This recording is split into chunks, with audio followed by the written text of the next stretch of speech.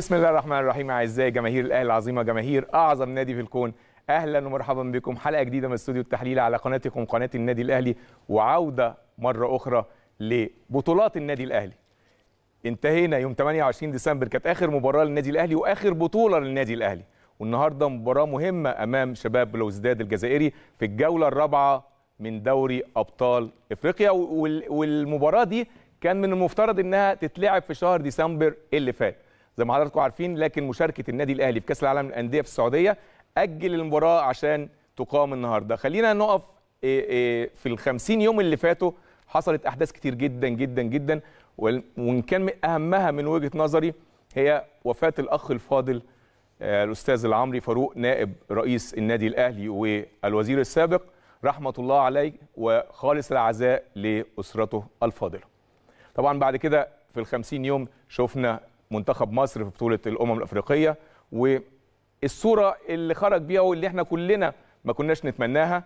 وبعد كده حصل كان على ال- المستوى المحلي كان في كأس الرابطة. رجعنا من كأس أمم أفريقيا. للأسف طبعا المنتخب المصري حتى لم يحقق فوزا واحدا. رجعنا وشفنا اتحاد الكرة وهو بيقيل فيتوريا وعدد الأسباب كلها في سبب واحد بس إن فيتوريا هو السبب. فيتوريا أحد الأسباب. مش هتكلم كتير في الموضوع ولكن فيتوريا أحد الأسباب. أحد الأسباب. لو كان في محاسبة من الأصل اللي يتحاسب في الأول هو اتحاد الكرة المصري. إنما تم التضحية بفيتوريا فيتوريا أخطأ. طبعا أخطأ. ولكن من قبله كان في أخطاء كتير جدا جدا جدا لاتحاد الكرة المصري.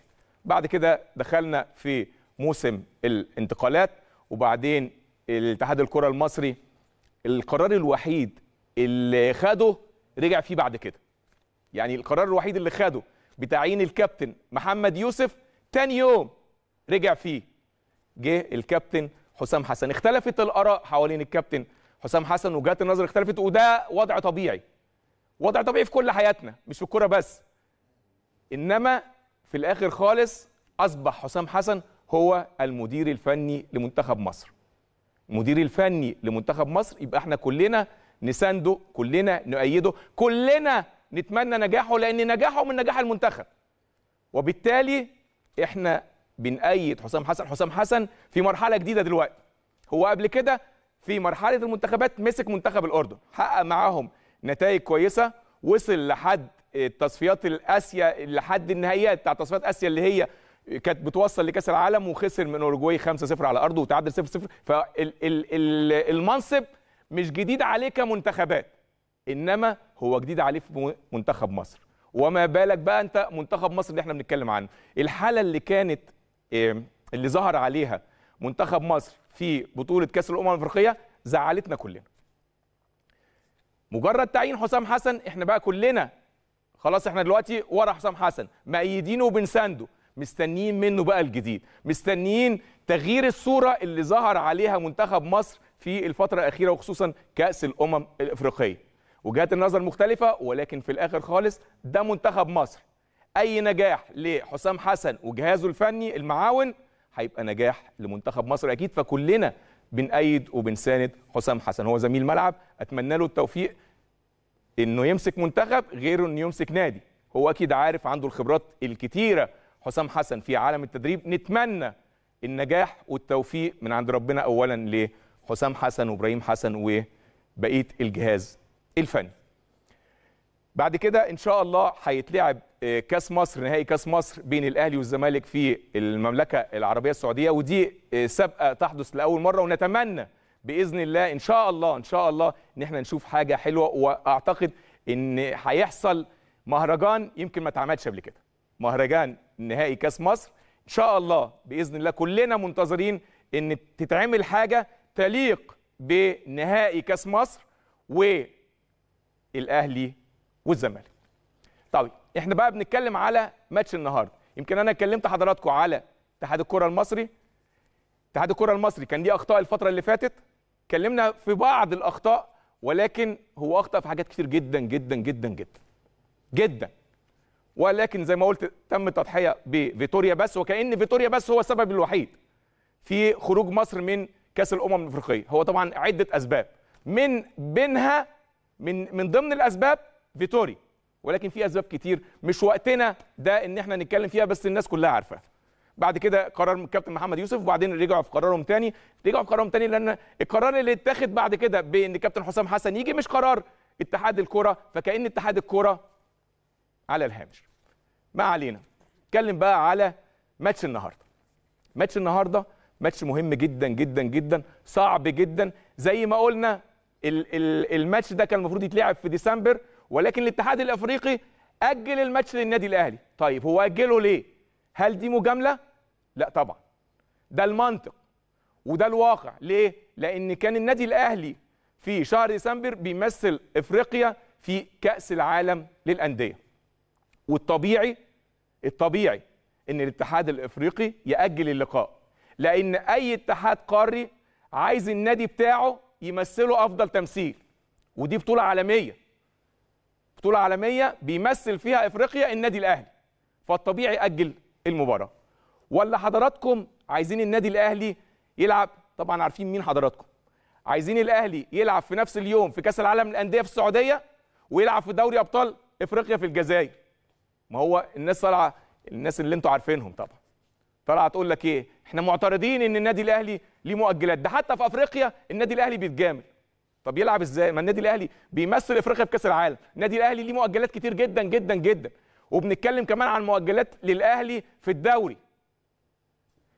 أنتوا مالكوش دعوة بالموضوع دوت. يعني اللي بيتكلموا في الموضوع دوت بيتكلموا إن النادي الأهلي كمان بيتأجلوا في أفريقيا. ده وضع طبيعي. وضع طبيعي يتاجلوا في أفريقيا ما النادي الأهلي ممثل أفريقيا في كأس العالم. وفي حد بيروح كأس العالم للأندية غير النادي الأهلي؟ وضع طبيعي لما يجي ماتش والنادي الأهلي بيشارك في كأس العالم للأندية الوضع الطبيعي النادي الأهلي هيتأجل له مباراة. هيلعب إزاي بروحين؟ هيلعب إزاي فرقتين؟ ده وضع طبيعي.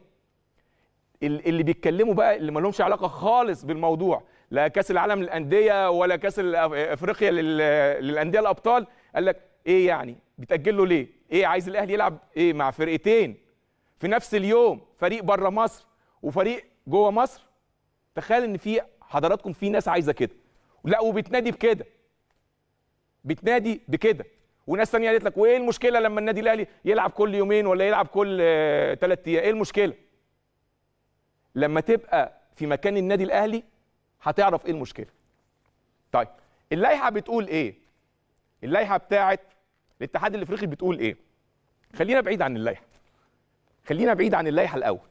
تفتكر تفتكر إن النادي الأهلي الاتحاد الأفريقي هيجامله هو مخصوص؟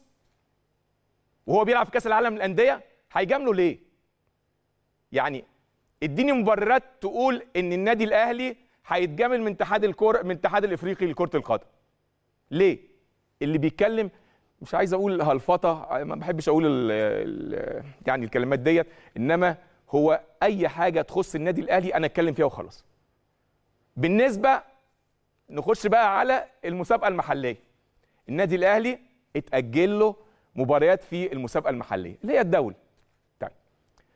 برضه سمعنا اشمعنى النادي الاهلي بيتأجل له؟ لأن النادي الاهلي كان ممثل مصر في كأس العالم للأندية. قبل ما يكون ممثل افريقيا. هو بيمثل بلده بيمثل مصر. فتأجل له ماتش اللي هو بيتلعب النهارده. كويس قوي. في ماتش كان للنادي الأهلي كمان ثلاث أيام. كان ماتش للنادي الأهلي كمان ثلاث أيام مع طلائع الجيش. في لائحة. في لائحة واللائحة دي من بداية الموسم. لنجلة مسابقات. ويسأل فيها الكابتن عامر حسين. وكل الأندية وافقت عليها بما فيها اللي بيتكلموا دلوقتي. وبناء على اللائحة دي الأهلي تأجل له مباريات. لأنه كان بيخوض مباريات في دوري أبطال إفريقيا وكأس العالم للأندية. يعني ما كانش مريح. ولا بيتفسح. ولا كان بيروح دورات ودية. لا. الأهلي كان بيمثل مصر وإفريقيا في البطولات دي. خليني أقول لكم أقول لحضراتكم اللائحة. بتقول إيه؟ دلوقتي النادي الأهلي عنده ماتشين في بطولة إفريقيا في خلال أسبوع. فاللائحة بتقول لو الماتشين جوه أو الماتش الثاني جوه البلد أنت بتلعب النهارده جوه وعندك الأسبوع الجاي الماتش هنا يبقى أنت على الأقل ثلاث أيام قبلها لازم تريح. لو الماتش فين؟ هنا في مصر. طيب لو الماتش بره يبقى لازم تريح قبل الماتش بأربع أيام. ومنهم يوم سفر بالنسبة للنادي الأهلي. فالوضع الطبيعي إن النادي الأهلي تحدد له الماتش الجاي يوم الجمعة الجاية. يوم الجمعة الجاية مديامه الغاني يعني بره مصر. يعني مش النادي الأهلي اللي مخصوص معمول له اللائحة ديت اللائحة دي من بداية الموسم. اللائحة دي من بداية الموسم وكل الفرق المشتركة وافقت عليها. طيب. أقول لحضراتكم فزورة حلوة قبل فوازير رمضان إن شاء الله ربنا يعني بإذن الله رب العالمين يهل علينا بكل خير بإذن الله للشعب المصري. بس من دلوقتي عشان نتدرب على الفوازير. الأسبوع بيتلعب فيه كام ماتش؟ تسع ماتشات وده وضع طبيعي عشان هم 18 فريق. فالأسبوع بيتلعب تسع مباريات. طيب الأسبوع ال 12 اللي اتلعب اللي هو خلص امبارح اتلعب منه كام مباراة؟ سبع مباريات. أسبوع اتلعب فيه سبع مباريات. يبقى كده في إيه؟ في ماتشين ما اتلعبوش.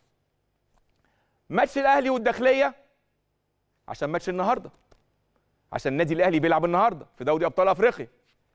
يبقى باقي ماتش يبقى باقي ماتش ما اتلعبش. هي دي الفزورة. ما اتلعبش ليه؟ طب هي مباراة مين مع مين؟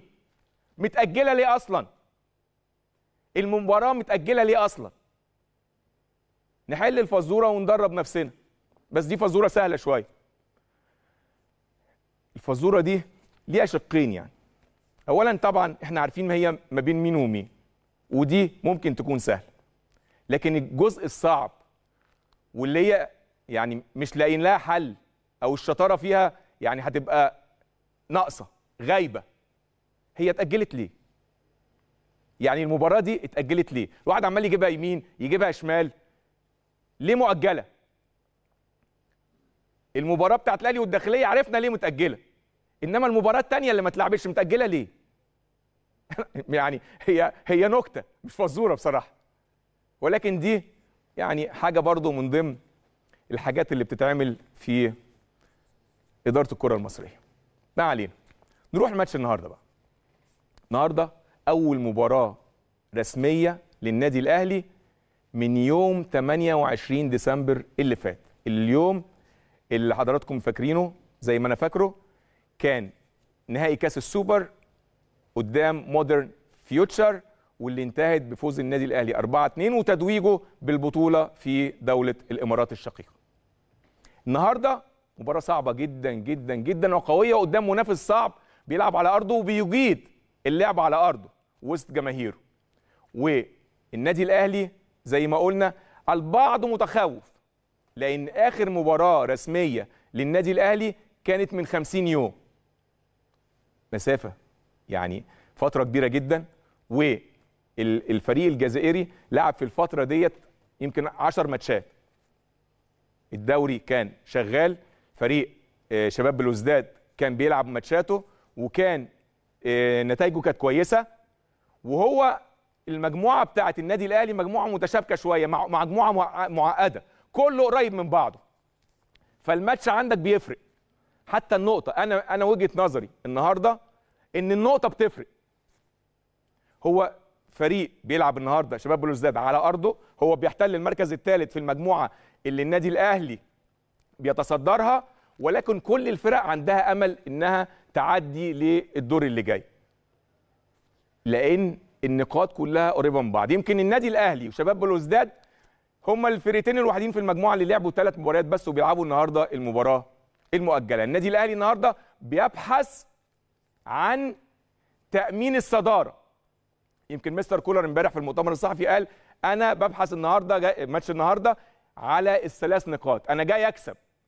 والمكسب النهارده هيودي النادي الاهلي في حتة تانية بعيد عن الثلاث أندية اللي تحتيه. ثلاث أندية بقى اللي تحتيه تتصارع مع بعض علشان تشبك ولا تلحق النادي الاهلي في إنها تعدي. هي مباراة مش حاسمة إنها تدخل الدور اللي. اللي جاي ولا مش تدخل الدور اللي جاي. ولكن مباراة مهمة جدا جدا جدا. الثلاث نقاط النهارده للنادي الاهلي هيعدوه في حتة تانية خالص بعيد عن حسبة بيرما بقى. مش عايزين نخش في حسبة بيرما اللي إحنا بنخش فيها كل سنة. يمكن في ناس كانت بتتفائل إن النادي الأهلي آه، لما بيطلع آه، في المركز الثاني في دور المجموعات بياخد البطولة. ولكن المرة دي النادي الأهلي إن شاء الله في المركز الأول على طول بإذن الله من دور المجموعات للمباراة النهائية. ماتش لو أفكركم آه، حضراتكم بالمباراة الأولى اللي جمعت النادي الأهلي وشباب بلوزداد في الجولة الثالثة وكانت بتقام في برج العرب. شفنا شوط أول سيطرة كاملة من النادي الأهلي. سيطرة كاملة يمكن أضاع النادي الأهلي خلال هذا الشوط أكثر من خمس أو ست أهداف. وصادفوا فيها آه، سوء حظ وسوء توفيق بطريقة غريبة جدا جدا جدا. ال- الشوط الثاني لو تذكروا حضراتكم هبط المعدل البدني شوية للنادي الأهلي خصوصا آخر ثلث ساعة وابتدت تخش آه، فرقة شباب بلوزداد في ال- المباراة. وقدروا يهاجموا النادي الأهلي في أكتر من هجمة ولكن في النهاية انتهت المباراة بالتعادل السلبي. التعادل ده يعني عرقلنا شوية يعني وقفنا شوية. كنا عايزين طبعا المكسب اللي إحنا بنبحث عنه دايما خصوصا إنه كان على أرضنا ولكن قدر الله ما شاء فعل. النهارده بإذن الله مباراة صعبة ظروفها صعبة عندنا إصابات كتير غيابات كتير 50 يوم مفيش آه، مباريات. قد نلاحظ بقى النهارده إن مستر كولر ممكن يعدل من أفكاره.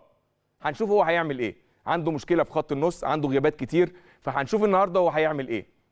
أنا وجهة نظري وجهة نظري إن غيابات النادي الأهلي النهارده هتكون في بعض المراكز مؤثرة. هتكون في بعض المراكز مؤثرة خصوصا إنها جاية بعد غياب كبير وأنت محتاج كل لعيب ومباراة خارج الأرض هنشوف المستر كولر بيفكر إزاي النهارده. أنا ما أعتقدش إن هو هيجازف من البداية هيبقى ضغط من قدام أعتقد لأ.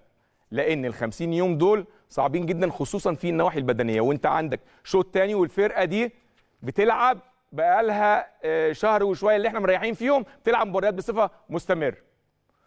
غيابات الأهلي النهارده كتير. محمد الشناوي حارس المرمى بيرسي تاو أليو ديانج وفي محمود. محمود متولي وخالد عبد الفتاح ومحمد الضوي كريستو. دول كلهم إصابات. وبيغيب إحنا بنتكلم على اللي في القايمة. بيغيب كمان عمر كمال عبد الواحد ومحمود الزنفالي وأحمد نبيل كوكا. طبعا عمر كمال والزنفالي هم مش مقيدين. بيغيب كمان أحمد نبيل كوكا وأحمد عبد القادر. كل الغيابات دي انت بتتكلم على فرقة بتتكلم على 9 10 لعيبة. فيهم ناس غياباتها مؤثرة. ده مليون المية. مليون المية. حتى حتى الوافد الجديد وسام أبو علي بعد ما جه لعب ماتشين وديين واتصاب بعد كده في التدريب. كلها غيابات مؤثرة لعيبة أساسية. بتتكلم على فريق كامل بيغيب عن الأهلي النهارده. مش بقول مبررات. ما بقولش مبررات. إن شاء الله النادي الأهلي يقدم ماتش كويس. وإن شاء الله نحقق نتيجة إيجابية. وإن شاء الله نرجع بالمكسب والثلاث نقاط. بإذن الله رب العالمين. لأن النادي الأهلي زي ما قلت لحضراتكم دايما بيسعى لحاجه واحدة. إن هو يكون على القمة. يكون هو المتصدر. يكون هو في المركز الأول. إن شاء الله مباراة قوية وصعبة أنا عارف بالنسبة للنادي الأهلي. النهارده هي مباراة صعبة على الفرقتين على فكرة. بس النادي الأهلي ده كبير أفريقيا.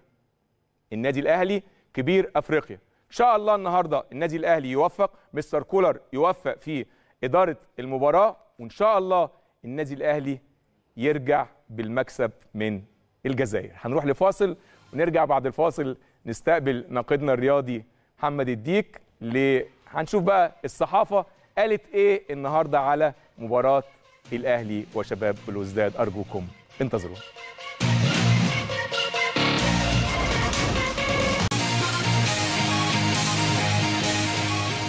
بنرحب بيكم مرة ثانية أعزائي المشاهدين. بنرحب بزميلنا الناقد الرياضي محمد ديك. إزيك يا محمد؟ إزيك يا كابتن؟ إزي حضرتك؟ وعود أحمد زي ما بيقولوا. يا رب إن في شاء أول الله. مباراة رسمية للنادي الأهلي في 2024 إن شاء الله. وشتاء خير زي الحلقة بتاعتك النهارده؟ إن شاء شاء الله. الله بإذن الله. منورنا. الله يخليك كابتن. ده نورك وشك. منور. الله يخليك كابتن. آه، طبعا ال- النهارده مباراة آه، مهمة وصعبة. آه، دايما الماتشات الفرق ال- أو المنتخبات المصرية الجزائرية ليها طابع خاص. المنافسة على طول التاريخ دول شمال جمهور- أفريقيا عموما آه. آه، جمهور هناك متعاطش للفرق وبحماس شديد جدا ومتواجد طوال 90 دقيقة بي- بيشجع صحيح. لكن إن شاء الله خبرات لعيبة النادي الأهلي النهارده وتوفيق ربنا إن شاء الله يكون حليف النادي الأهلي النهارده ويعود بنتيجه ايجابيه إن شاء الله آه، تسهل رب. في الماتشات اللي جاية آه، زي ما حضرتك. اتكلمت وقلت المباراة مش حاسمة لكن هتسهل مأموريته في الماتشات اللي جاية خاصة صحيح. انك أنت عندك الماتش اللي جاي فرق قليل أيام قليلة هتسافر ميديا آه، غانا تقابل ميدياما. ميدياما برضو عنده فرص مجموعة متشابكه المجموعه كلها. قريبة من بعض. مش حابين نخش فكرة بقى الحسابات المعقدة ونستنى بقى ماتش يانج اللي هو في آخر ماتش عندك في في أفريقيا في في المجموعة في الجولة الخامسة. إن شاء الله مشيئه الرحمن النادي الأهلي قادر النهارده. يحقق نتيجة إيجابية ترضي طموحه صحيح. وتسهل مأموريته في الماتش اللي جاي إن شاء الله إن شاء الله الصحافة قالت إيه بقى. النهارده على النادي الأهلي وخصوصا غيابات النادي الأهلي الكتير ده كابتن ال- العناوين الرئيسية في الصحافة المصرية حتى هم هناك في الجزائر كمان بيركزوا مم. على. على فكرة الغيابات الموجودة.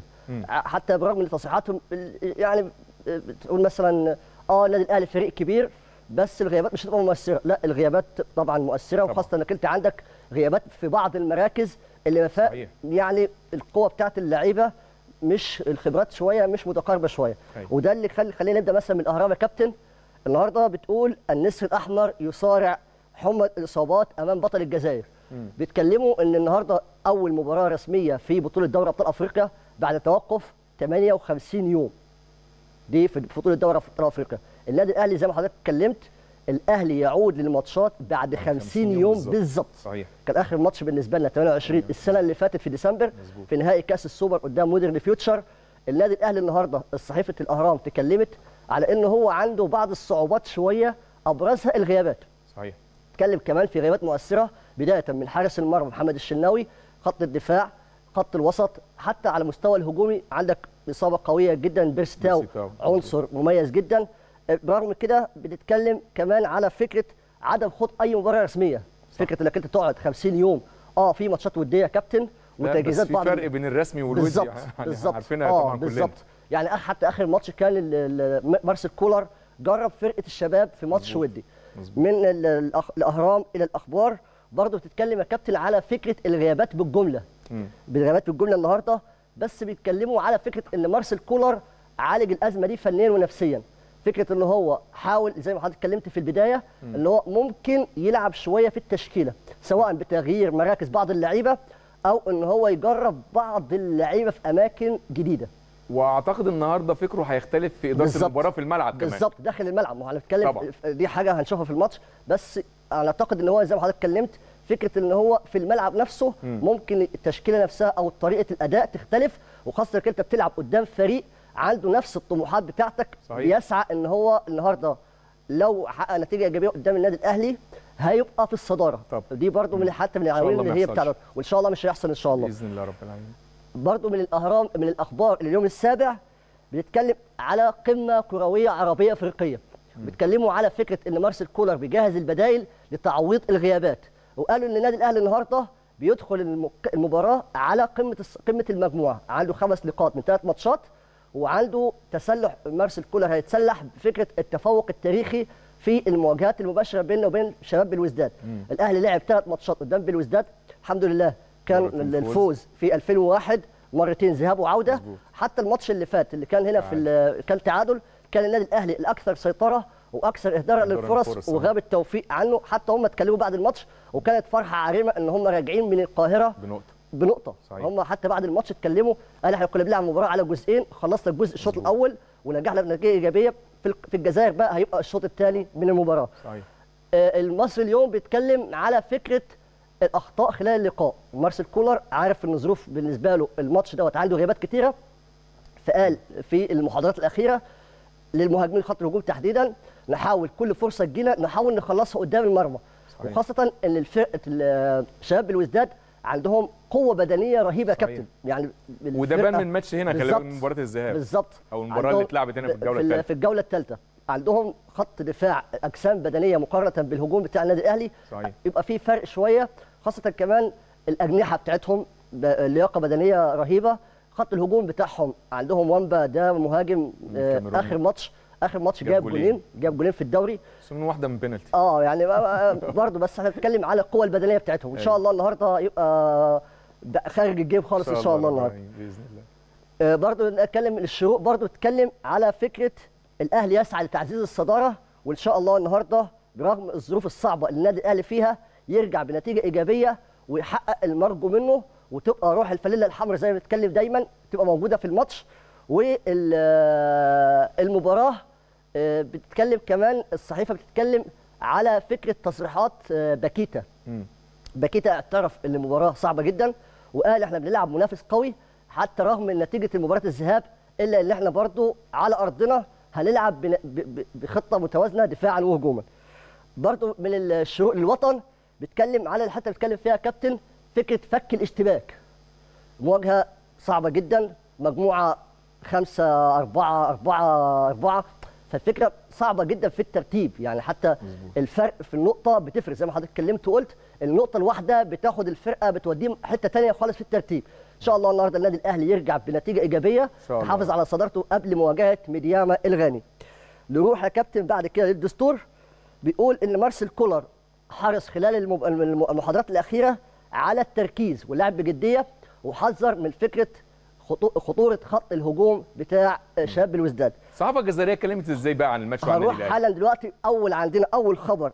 باكيتا مواجهة الأهلي مهمة لكنها ليست حاسمة. آه، نفس ما حضرتك اتكلمت وقلت ماتش بثلاث نقاط لكن لسه في جولتين. صحيح. هو برضه اعترف إن الماتش بالنسبة له هيلعب على الفوز قدام منافس قوي بس الفوز النهارده مش هيوصله للتأهل للدور التالي لسه بس عنده بس ماتشتين الخسارة هتبقى صعبة على الفرقتين بالظبط. يعني أي فريق هيخسر هتبقى بالظبط. صعبة شوية هيدخله في حوارات تانية بالظبط. بقى. إنك أنت عندك ماتش خارج ملعبك مظبوط. سواء شباب الوزداد أو النادي الأهلي مظبوط من ال- الخبر اللي حديثه النهار بتقول نهائي قبل الأوان قالوا إن ماتش النهارده الأهلي بطل أفريقيا 11 مرة قدام شباب الوزداد اللي ما اللي ما تجاوزش دور الثمانيه طوال مسيرته في دوري أبطال أفريقيا. عامة طوال مشوار تاريخه ما تأهلش دور الثمانيه فهم بيقولوا إن النهارده يتسلح بالجمهور وبعامل الملعب وكمان نتيجة مباراة الذهاب. صحيح. من ال- النهار برضه في النهار معانا صابر السماعين الأهلي لا يتأثر بالغيابات ومواجهته ستكون صعبة. ده مساعد مدرب باكيتا برضه بيتكلم على فكرة إن النهارده ماتش الأهلي صعب جدا وعندنا نتيجة مباراة الذهاب مش هتبقى زي ماتش النهارده. يعني أيوة. هو عندهم واقعية جدا في تصريحاتهم. أيوة. بيتكلموا كمان ان الم- الأهلي بيبقى حتة مميزة. هم كابتن درس دارسين النادي الأهلي جدا.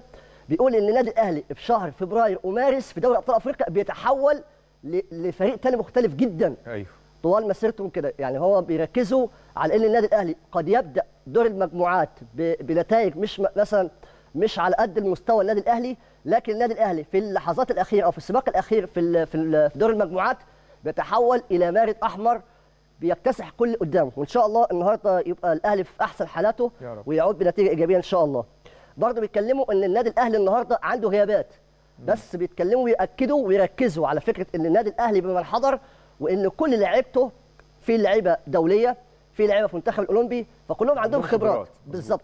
وعندهم القدرة إن هم يلعبوا في الملاعب شمال أفريقيا اللي مدججة بالجماهير. من صحيفة المسا بيتكلم صداره المجموعة الرابعة في المزاد زي ما حضرتك اتكلمت وقلت إن النهارده الفرقتين اللي هيكسب فيهم وإن شاء الله يكون النادي الأهلي. هيتصدر المجموعة ويعدي في مرحلة ثانية هتسهل مهمته في الماتشين اللي جايين مظبوط. يعني حتى مكسب مكاسب النهارده هتسهل في ماتشته عندك ماتش خارج ملعبك وعندك ماتش على ملعبك فإن شاء الله النهارده الانتصار يكون حليف النادي. الأهلي ونعدي الماتش اللي جاي إن شاء الله آخر حاجة كابتن معانا في صحيفة الإخبارية بتقول إن شباب الوزداد جاهز للديربي شمال أفريقي وقالوا إن إدارة آه، شباب الوزداد سخرت كل الإمكانيات. عملوا المعسكر بتاعهم يا كابتن في مكان آه، تعسكر أو معسكر اللي بيقيم فيه المنتخب الجزائري. كمان حاجة تانية أجل لهم ماتشات في الدوري الجزائري. آخر مباراة لعبها فريق شباب الوزداد يوم 10 أيوه. كان قدام آه، الفريق ال- كان يوم. السبت اللي فات. آه اليوم وكسبوا السبت اللي فات. 2-0. كسبوا 2-0 اتحاد الوسفي هو كان الماتش اللي قبليه خسروا آه، الفرقة بتعاني شوية في خط الدفاع دفاعيا عندهم. سجلوا آه. سجلوا 23 هدف استقبل مرماهم 11 هدف صحيح. فدي من الحاجات إن شاء الله النهارده مارسيل كولر يكون مركز فيها الله رب العالمين. وخط هجوم النادي الأهلي يكون على قدر المسؤولية ونتمنى إن شاء الله النهارده روح الفانيله الحمراء وتوفيق ربنا يكون موجود و11 لاعب في الملعب إن شاء الله يكونوا على قدر المسؤولية ويرجعوا لنا إن شاء الله. بالانتصار وتبقى بداية سنة جديدة للنادي الأهلي إن شاء الله رب العالمين. شكرا شكرا يا ديك. شرفتنا ولينا لقاء آخر بعد المباراة إن شاء الله يا كابتن إن شاء الله.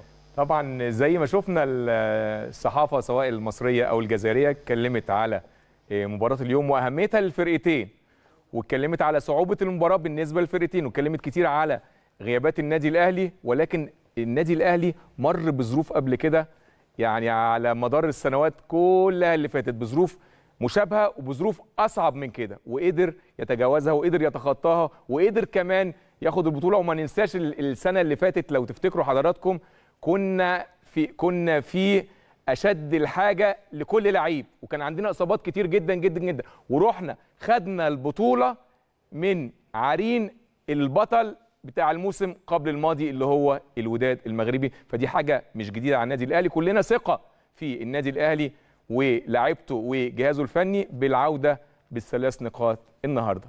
بيشرفنا آه، زميل العزيز محمد الباز لتحليل الفرقتين بقى رقميا. منورنا يا محمد إزاي؟ مساء الخير يا كابتن أيمن. نور حضرتك وحشنا. وعودة للنادي الأهلي. يعني الأرقام بتقول إن النهارده مباراة اليوم هتحدد ال map بتاعه المجموعة ديت أو الخريطة والاتجاه بتاع المجموعة. فوز الأهلي مهم جدا للصدارة والارتياحية. آه، لا قدر الله فوز أو يعني أي نتيجة أخرى لفريق شباب بلوزداد هتأثر بشكل كبير على مسار الأهلي في المجموعة. كلنا ثقة إن شاء الله إن الأهلي بإذن الله حن بإذن الله يرجع بالثلاث نقاط ويتصدر المجموعة بإذن الله بكل ارتياحية. آه، كابتن ايمن النهارده إحنا بنتكلم على المجموعة كلها متقاربة في النقاط. زي ما إحنا عارفين الأهلي طبعا متصدر بخمس نقاط. الأرقام كلها متقاربة من بعض. عشان كده بنقول مباراة مهمة فيصلية أو محورية هتغير الاتجاهات كلها.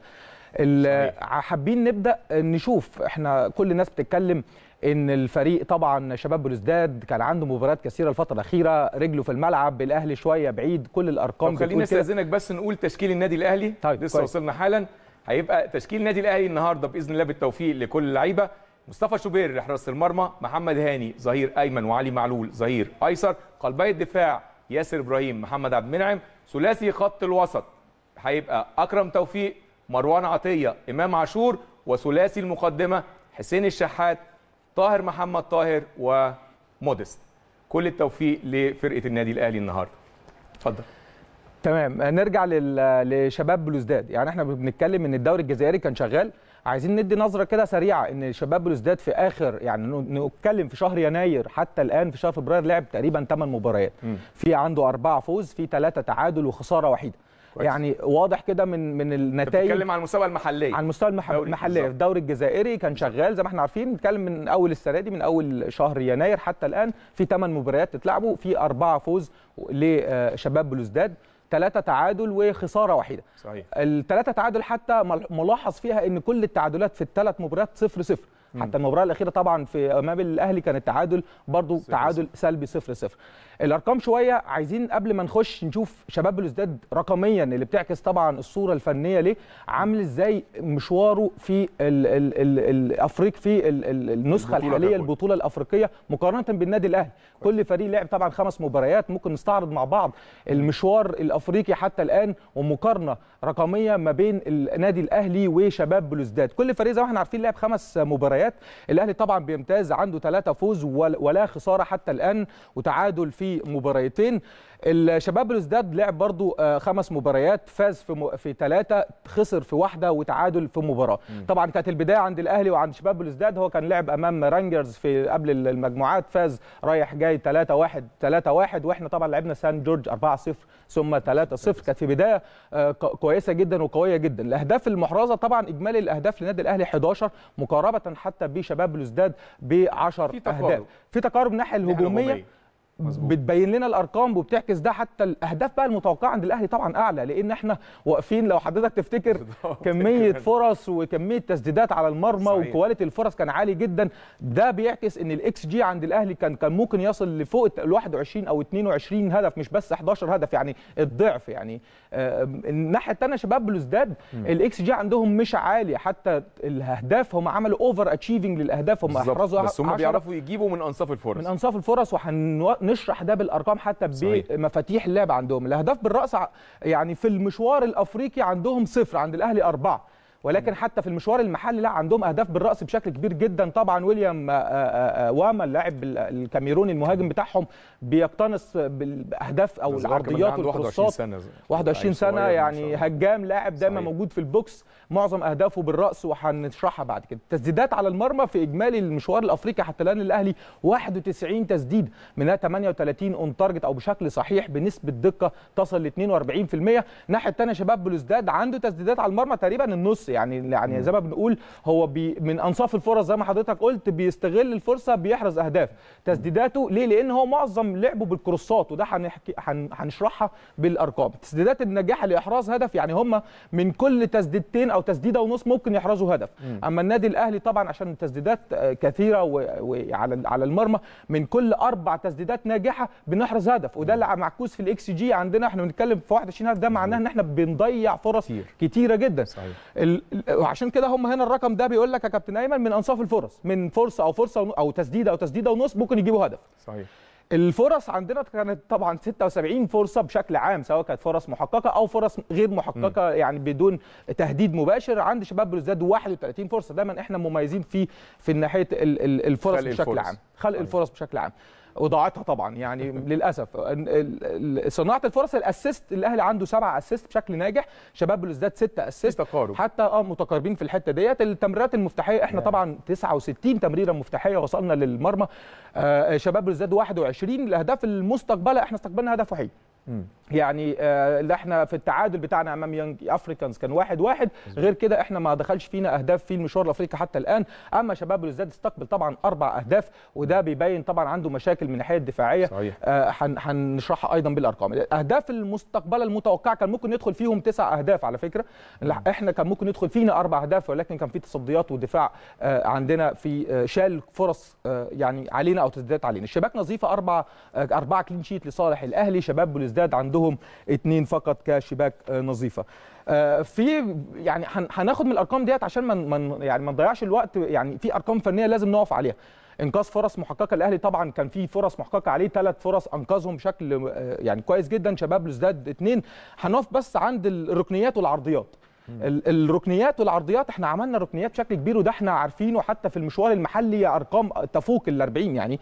آه، شباب بلوزداد عندهم 15 ركنية ولكن شباب بلوزداد بيمتاز طبعا من ناحية الكروسات عندهم وبيستغلوها بشكل كبير والكرات جدا. الثابتة عندهم خطرة جدا جدا. بيستغلوها استغلال إيجابي. هي نقطة القوة ونقطة الضعف. صح صح. يعني برضو. الكرات الثابتة أو الركن أو العرضية المتحركة عليهم بتشكل خطوط. وهدفين مدياما كانوا من كرات آه، آه، عرضية أو عرضيات. كره واحدة ركنية كده فبالتالي إحنا عندنا العرضيات غزيرة جدا 115 نفس الكلام في الركنيات ولكن نفتقد للدقة واستغلال الفرص من العرضيات أو ال crosses عرضيات بقى من اللعب المفتوح ال open play إحنا عندنا بنعمل 87 عرضية الدقة برضو 32% هم بيعملوا open play عرضيات بيرفعوا crosses كتيرة جدا عن طريق ال- ال- ال- ال left back حتى وال right. back عندهم اللي بيزيدوا وبيعملوا خطورة وهنتكلم عليهم. آه، ولكن الدقة عندهم ضعيفة جدا. دي شكل عام كده مشوار يعني حتى هو من الكرات الثابتة زي ما كنا بنشرح يا كابتن. أيمن الأهلي عنده 28 عرضية من كرات ثابتة. ده غير الركنيات. أنا بنتكلم على الكرات الثابتة من داخل ال- الملعب. يعني الركنيات مش محسوبة هنا. ثمانيه بس منهم بشكل صحيح. دايما نفتقد إحنا ال- ال- استغلال الفرص فيها لل- الناحية الثانية شباب بلوزداد عندهم 15 التمريرات هنا ملخص التمريرات بيقول لك إن فريق شباب بلوزداد ما بيلعبش ال short passes بشكل كبير. أيوة. يعني دايما التمريرات هم دايما بيل- بيلجأوا للكرات. الطولية أو إن هم بيجروا طبعا ويرموا الكره في خلف ال- طبعا المدافعين من الأجنحة أو الأجناب بشكل بيفتحوا الملعب بشكل عام. أما النادي الأهلي طبعا دايما بيمتاز بال short passes وامتلاك الاستحواذ وه- وهكذا. حتى التمريرات القصيرة إحنا طبعا بنصل ل 500 تمريرة في في المباراة الواحدة أما هم 300 تمريرة وده رقم قليل. خسارة الكره إحنا بنخسر الكره طبعا بشكل كبير جدا 173 ولكن إحنا بنعمل ال recovery أو نس- نستعيد الكره. بشكل كويس جدا وبشكل سريع آه، جدا. آه، ده بشكل عام كده يعني حتى هو استعادة الكره وابتعاد الكرة أو ال- ال clearance بنبدأ إن إحنا نشتت الكره ونبتعدها بشكل كويس جدا. الفكرة بقى هنا كابتن أيمن حتى في مشوارهم من في الدوري. في الدوري المحلي أنا عايز أقول لحضرتك إن هم من أكثر الفرق بتلمس الكرة داخل منطقة الجزاء. أكثر حتى الفرق هم ثالث أقوى خط هجوم في الدوري المحلي. جايبين 23 هدف. آه، أفضل فريق في الاستحواذ في الدوري المحلي في الدوري الجزائري 58% رابع أفضل فريق في التسديدات على المرمى. هم برضه هم أفضل فريق من ناحية الكورسات والعرضيات. أكتر فريق في الدوري المحلي بيعمل كورسات وعرضيات. بيستخدموها طبعا بي- زي ما إحنا عارفين ال ال ال ال الجناح الشمال عندهم مزيانه هو ده واحد من الأعمدة الأساسية ومفاتيح اللعب عندهم. مزيانه دايما بيعملوا حتى اللامركزيه بي بيعتمد طبعا على بالخير حتى من ناحية ال ال ال ال اليمين ال- الرايت باك عندهم برضو بيرفع كرات آه، عرضية بشكل كبير جدا آه، بالخير وبوصوف طبعا الراجل ال- الجناح اليمين. دول أهم اللعيبة اللي بتمثل أو بتشكل مفاتيح خطورة لعب. مفاتيح لعب صح، عندهم. بنغيس طبعا في اللي هو لاعب 8 عندهم بيلعب بيل- برضه بيلجأ للنواحي الدفاعية والناحية الهجومية بشكل خطورة جدا. المزيانة دايما بيخش لجوه بيشبهنا شوية بحسين الشحات كده وبيعملوا نفس الطريقة اللامركزية دي عندهم. ولكن ال crosses عندهم ده حاجة ملفتة للانتباه لابد من إن إحنا ناخد بالنا منهم منها بشكل كبير جدا. العوافي وبالختير حتى ال- ال right back اللي إحنا كنا بنتكلم عليه الراجل آه، ده بيزيد. ونفس الكلام زي ما بنقول نقطة القوة عندهم هي هي نقطة, نقطة الضعف. صحيح. زيادة ال- ال- ال back ين أو الاظهره بتشكل خطورة عليهم في, في ال- في مساحات المساحات. وراه نفس الكلام زي ما بقول هم الكرات الثابتة أو الكرات العرضية المتحركة بتشكل خطورة هم بيلعبوها بشكل كويس جدا وبيحرزوا أهداف كويسة ضعف عندهم نقطة. ضعف عندهم برضو. لو اتلعب عليهم بشكل صحيح ممكن. نستغلها بإذن الله. ده شكل عام كده عن أرقام ال- الفرقتين والأرقام الفنية المهمة اللي نقدر تعكس حتى أو تدينا تصور وتخيل عن اللقاء ممكن يمشي آه، إزاي الأرقام بترجح بنسبة كبيرة كفه النادي الأهلي ولكن أكيد. الملعب هو الفيصل أكيد أشكرك شكرا جزيلا يا محمد ولينا لقاء آخر بعد المباراة إن شاء الله بإذن الله كل التوفيق إن شاء الله للنادي. الأهلي النهارده يا رب بإذن إن شاء الله. شكرا يا جزيلا. طبعا من الأرقام زي ما قلت لحضراتكم وزي ما شفنا مع آه، محمد الباز شفنا إن النادي الأهلي بالأرقام هو المتفوق ولكن ظروف المباراة مختلفة النهارده مختلفة بعض الشيء. يمكن كمان من الحاجات اللي أحيانا اللي أحيانا بتقلقنا في المباريات الأفريقية وخصوصا اللي خارج الأرض التحكيم. وبمناسبه التحكيم مش هقدر أتكلم ومعانا الخبير العزيز كابتن ناصر عباس. منورنا يا كابتن. تحياتي ليك يا كابتن أيمن وحشني كتير وتحياتي لكل مشاهدي قناة النادي الاهلي في كل مكان. ازيك يا كابتن؟ عامل إيه؟ الله يخليك كل سنة. وحضرتك طيب. في البداية طبعا بنقول يا رب النادي الاهلي النهارده يفوز إن شاء الله. يا رب. ويحقق نتيجة إيجابية وإن شاء الله يعتلي آه، صدارة المجموعة وده تفاؤل إن شاء الله بإذن الله. يا رب. إن شاء الله إن النادي الاهلي النهارده يفوز بإذن الله يا كابتن أيمن. طاقم التحكيم. طاقم التحكيم. يقلق ولا؟ اختبار صعب يا كابتن أيمن وأنا بتكلم على الحكم الرواندي صامويل مم. اختبار صعب جدا جدا ليه النهارده. وهقول ليه الأسباب. اولا خلينا في البداية نقول مين هو الحكم الرواندي. وحكم آه، من ضمن الحكام اللي تم اختيارها في البطوله الأفريقية. اختاروا 26 حكم كابتن أيمن من القارة و30 حكم مساعد وكمان ع- 12 حكم للفار. 68 حكم تم اختيارهم في البطولة الأفريقية. طيب هو النهارده بيتكلم على الحكم الرواندي. أدار إيه هناك في البطولة؟ عدد المباريات. آه، اختلفت الحكام هناك. في حكام لعبت أربع مباريات وفي حكام لعبت ثلاثة وفي حكام لعبت مباراتين وفي حكام لعبت مباراة وفي حكام ما لعبتش ولا مباراة في البطولة اللي هي اتلعبت كابتن أيمن راحت البطولة ورجعت ما لعبتش ولا مباراة. نيجي لصامول هو لعب مباراتين. المباراة الأولى كانت في مباراة ما بين غينيا الاستوائية وغينيا بيساو. دي كانت في دور المجموعات وادوا له كمان مباراة في الدور نفس الدور دور المجموعات. ادوا له مباراة ناميبيا ومالي. فقط لا غير.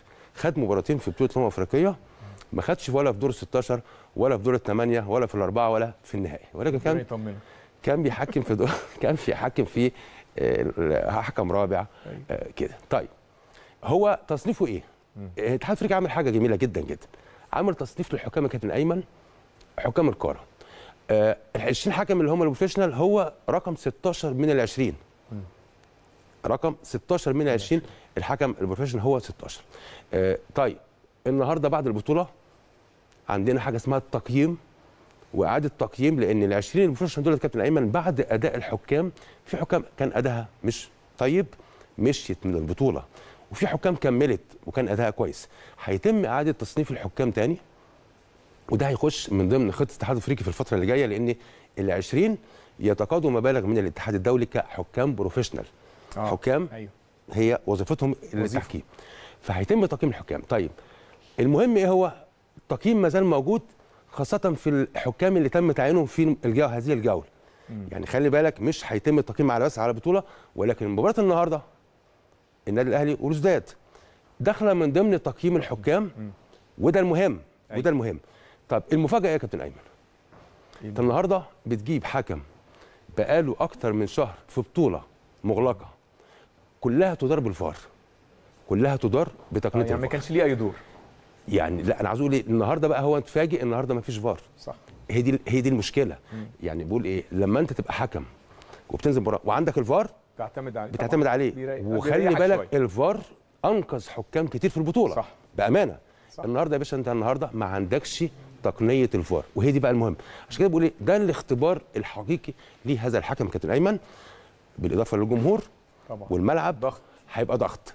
أتمنى طبعا في عدم وجود تقنية الفار وده عبء على الحكم لأن القرار النهارده الخاطئ النهارده النقطه بتفرق. بالظبط كده. فأتمنى النهارده هو يكون عنده هذا الحس إن هذه المباراة أخطاء تحكيمية مش مقبولة بأي شكل. صح. أي خطأ تحكيم في هذه المباراة مش مقبول إن محدش هيصحح لك. الخطأ اللي فيه آه زي ما قلت هو عنده صعب.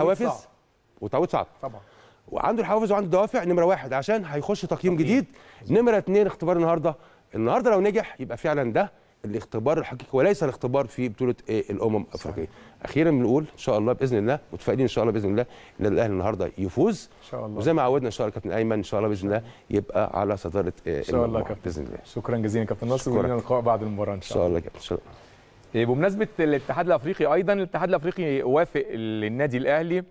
على ارتداء الشارات السوداء والوقوف دقيقه احداد على روح الأخ الفاضل الأستاذ العمري فاروق نائب رئيس النادي الأهلي.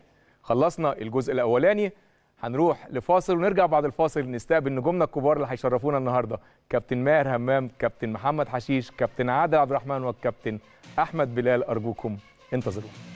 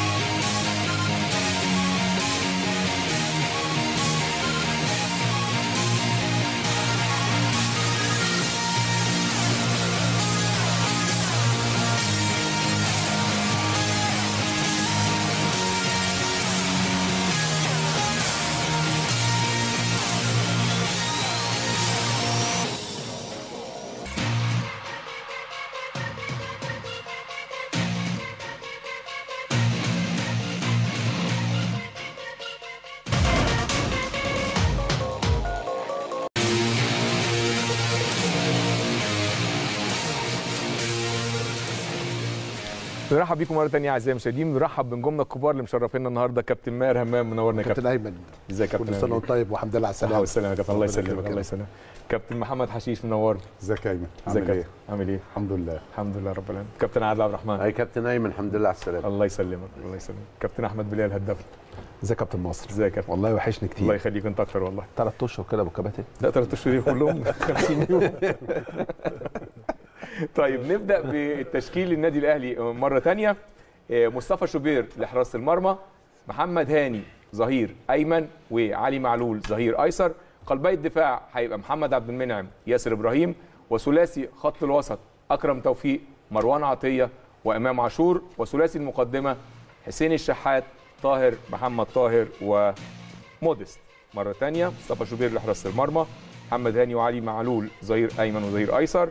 محمد عبد المنعم وياسر إبراهيم قلبي دفاع وثلاثي خط الوسط مروان عطية أكرم توفيق إمام عاشور وثلاثي المقدمة حسين الشحات طاهر محمد طاهر ومودست.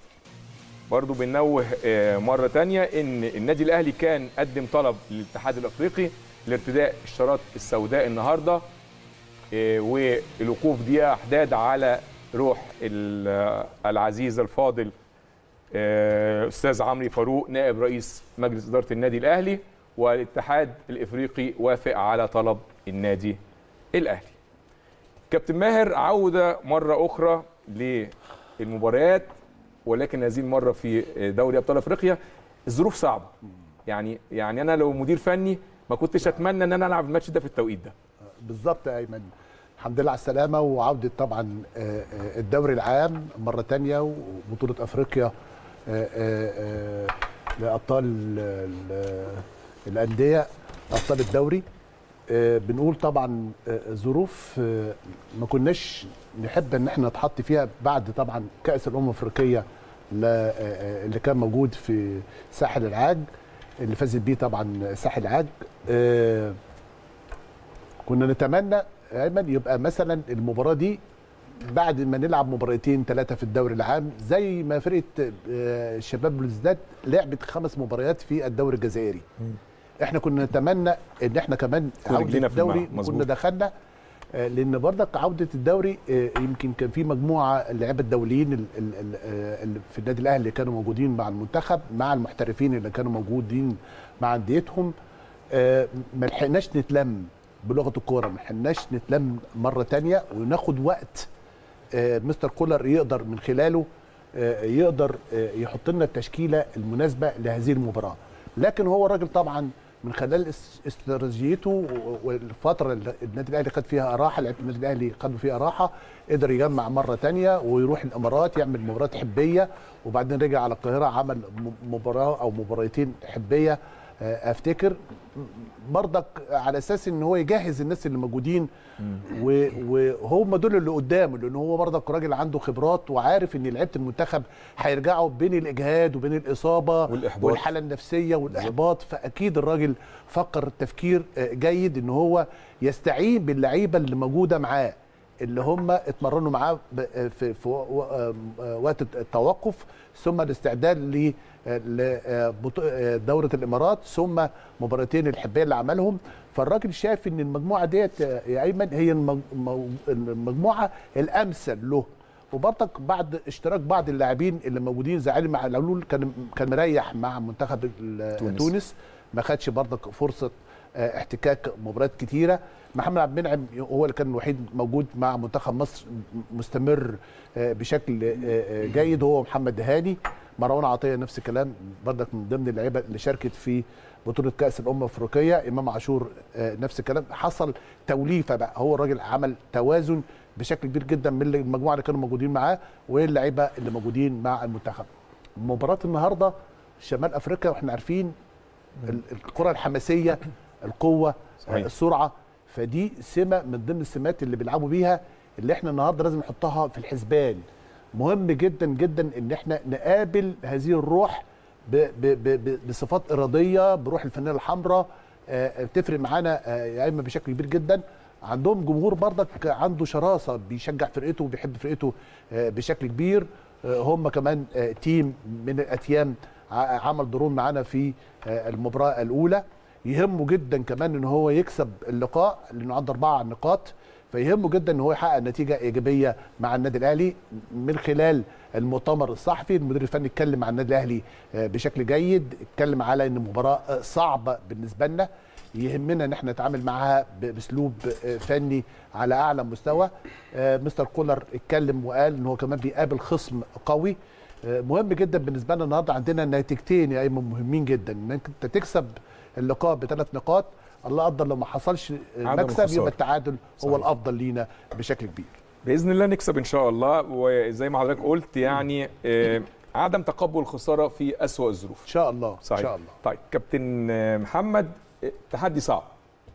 يمكن آه، في غيابات مؤثرة النهارده للنادي الأهلي. آه، أول مباراة رسمية بعد 50 يوم. آه، المباراة خارج الأرض. مباراة في البطوله آه، في دور المجموعات في البطولة الأفريقية. مجموعة متشابكة لأن الفرق كلها قريبة من بعض. فالنادي الأهلي هل مر بظروف زي دي قبل كده؟ هو مر بظروف. أنا أنا فاكر إن هو مر بظروف وقدر يتغلب عليها. تمام. ولكن بيفكر إزاي مستر كولر النهارده عشان يتغلب على الظروف دي؟ هو طبعا آه، مستر كولر ما بيفكرش من النهارده. هو بيفكر من قبل كده. من قبل كده. كويس. إنه أهم حاجة إن هو يعدل الموجة بتاعة النادي الأهلي. ما بين اللعيبة اللي كانت في إفريقيا منتخب. طبعا مع المنتخب اللعيبة اللي كانت في دبي اللعيبة اللي كانت في مصر اللعيبة ال- المصابين اللي رجعوا. يعني عنده الحقيقة آه، آه، حاجات كتيرة آه، عكس بعضها أو غير بعضها. يجمع الكلام ده كله. إزاي؟ أهم حاجة حاجتين. أول حاجة إن هو يجهز اللعيبة دي كلها نفسيا يأهلها نفسيا للمباراة اللي زي دي. كذلك برضو الاستشفاء والحاجات ال- اللي هي طبعا الناس اللي مجهدة من المنتخب مجهدة بدنيا ومحبطة وتعبانة. الناس اللي هنا اللي برضو كانت آه، عايزة تروح المنتخب وما راحتش لأن كل واحد طبعا كان بيامل إن هو يكون ضمن آه، صفوف المنتخب. كل ال- الحاجات دي الناس اللي راجعة من الإصابة الفترة الكبيرة اللي بعد آه، يعني مفيش مباريات رسمية وإحنا كلنا عارفين إن مهما بتلعب مباريات ودية ايا كان بره مصر أو. آه، جوه مصر آه، آه، برضه مش زي المباريات الرسمية. فلما تيجي تبدأ بمباراة ومباراة مع خصم عنيد بالذات ال- الفرق الجزائرية مع الجمهور الكبير آه، والعصبية اللي بيلعبوا بيها والحماس الكبير جدا وطبعا هو آه، عارف قدر النادي الأهلي وعارف آه، إنه بطل طبعا القارة ويهمه في مباراة زي دي ان يبعد النادي الأهلي عن المقدمة. كل الكلام ده يعني بيديك آه، عبء كبير آه، نفسي إن أنت إزاي زي ما بقول لك إن هو يجهز اللعيبة للقصة دي. آه، قدر برضه مستر كولر إن هو أول ما جه مصر في أول آه، ولاية ليه أو أول عهد ليه بالفريق إنه طلع قابل برضه آه، كان بيلعب مباراة إفريقية. أول مباراة رسمية ليه كانت مباراة إفريقية مع اتحاد المنستير آه، في تونس. وكانت برضو مباراة صعبة وقلنا إن المباراه يعني آه، البداية صعبة وبرة إنما الحمد لله قدر يتغلب آه، عليها. آه، إن شاء الله يعني آه، آه، يفكر طبعا النهارده تفكير منطقي للمباراة اللي هو إن أنت لو آه، آه، لا قدر الله ما كسبتش ما تخسرش. صحيح. دي أهم حاجة طبعا آه، إن هو يفكر بالتفكير ده. التشكيل وخصوصا كمان إن التشكيل اللي أنا شايفه فيه يمكن حوالي أيمن ست لعيبة آه، ما كانوش موجودين في اللقاء الأولاني لو حسبناها كده. مصطفى. آه فدي برضو آه يعني آه برضو انت لما بتلعب. قدام فرقة وإن كان من فترة كبيرة إنما أنت برضو واخد على الفرقة دي أو لعبت ضد الفرقة دي وعارف طبيعة لعبها وكده كل واحد في مركزه اما بيجي يلعب في الملعب بيبقى باصص للعيب اللي قدامه بيلعب إزاي طريقة تحركاته وبتاع فبرضو الست لعيبة اللي جداد دول- هنتكلم لما نيجي. نتكلم في التشكيل بإذن. الله رب العالمين إن. شاء الله ماشي يا كابتن طيب كابتن عادل اتكلم على ظروف المباراة أنت كمدير فني أحيانا ظروف المباراة بتخليك تغير فكرك أو تغير أسلوب التعامل في إدارتك مع المباراة. النهارده في ظروف مختلفة وصعبة جدا جدا في مواجهة اتحاد آه، شباب البولزداد مستر كولر هيفكر إزاي النهارده؟ يعني هل هيبتدي؟ في ناس قالت لك يعني أنا قريت بعض التحليلات. في ناس قالت إيه؟ لا لازم يبتدي ضاغط من البداية.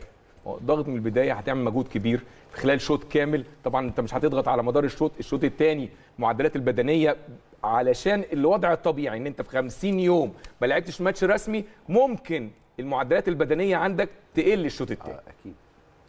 طب بص يا كابتن خليني بس أقول لك صعوبة المباراة في البداية وبعدين هو يفكر إزاي. ماشي. اولا صعوبة المباراة في خمس نقاط يعني ال ال أول نقطة الرجوع من المباريات الدولية ودي فيها صعوبة كبيرة جدا فيها نفسية وبدنية وبتبقى فيها ناحية إخفاقات بيبقى فيها إخفاقات زي مثلا المنتخب لما أخفق وبعدين رجع اللعيبة نفسيا فلازم أنت كمدير فني ترجعهم تاني للحته دي ده. رقم واحد. رقم اتنين أنت بتتكلم على مباراة دولية يعني فيها إجهاد فيها سفر فيها حاجات كده. النقطة الثانية المباراة النهارده بتلعبها خارج مصر ودي نقطة صعبة جدا وأنت راجع بتلعب خارج ال- ال- الملعب بتاعك. بتبقى فيها استعدادات خاصة وقوة خاصة ولعب بطريقة خاصة. ثالث حاجة صعوبة المجموعة وتقارب النقاط. ده مهم جدا. يمكن أنت لو كان المباراة دي اتلعبت قبل النتائج بتاعت النهارده كنت ممكن تلعب بطريقة أخرى. أو النتائج جت إيجابية ليك كنت ممكن تلعب بطريقة أخرى. لكن أنت دلوقتي لازم تعرف إنك أنت خارج المباراة الجاية خارج ملعبك أيضا. آه. يبقى أنت لازم تبقى واقعي جدا. النادي الأهلي واقعيته في عدد النقاط اللي عاوز يستحوذ عليها. كويس. لأن أنت عندك فرقتين عند عندها أربعة. فأنت في وقت من الأوقات إنك أنت مش لازم تروح لهدفك بسرعة. حتى أنا شفت مستر كرة السؤال بقى ردا على السؤال بتاعك الرد عليه من التشكيل اللي أيوة. جالنا. أيوه. بتتكلم في ثلاثة ونص ملعب. يغلب عليهم ال- ال- الجانب الدفاعي الدفاعي 100% مظبوط. هو عنده مشكلة أكيد شاف الفيديوهات كويس وبتهيالي هو بيحلها. عندهم الطرف الشمال أو الجبهة الشمال أقوى حاجة عنده. بيلعب منها على طول فعلشان كده حتى أكرم توفيق قدام محمد هاني. ممكن يكون أكرم كمان جوه شوية لكن في الوقت اللي لازم هيبقى في مساندة. محمد. هاني. فردا عن السؤال هو ده اللي, اللي أنا بفكر فيه كمستر كولر. بفكر إن أنا أخلي أسير المباراة إلى الوقت اللي أنا ممكن أكسب فيه. أو يعني يعني أنا اللي فهمته من طريقة كلامك إن أنت كمان ميال لحاجة معينة. إن آه، أنت لو ما. كسبتش ما تخسرش. بص يا كابتن النادي الأهلي نادي كبير. صحيح. النادي الأهلي لما بيدافع الفرق اللي قدامه بتفضل مصممة على التوازن. مم. خلي بالك من النقطة دي.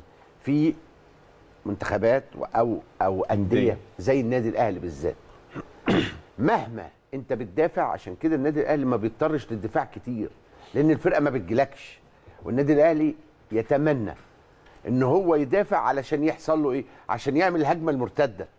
النادي الأهلي حتى وأنت بيلعب خارج أرضه بيلعبوا بتوازن معاه مش بيضغطوا عليك 100% لكن أنا النهارده بقول لك إن النهارده الضغط من فرقة آه، بوليسداد هتبقى قوية جدا لأنه النقاط بتاعته أربعة. أنت فاهمني؟ أيوة. عنده فرصة إنه يعتلي آه، صدارة المجموعة. في حالة فهيبقى الفوز في ضغط. كبير. النادي الأهلي النهارده زي ما أنت قلت يا كابتن أيمن السؤال إن هل هيلعب بتوازن ولا هل هيضغط من قدام ولا هيعمل إيه؟ أنا في رأيي إنه هيسيب الوقت هيلعب على عامل الوقت طول الوقت. لو ما دخلش في الجون يبقى هتكسب.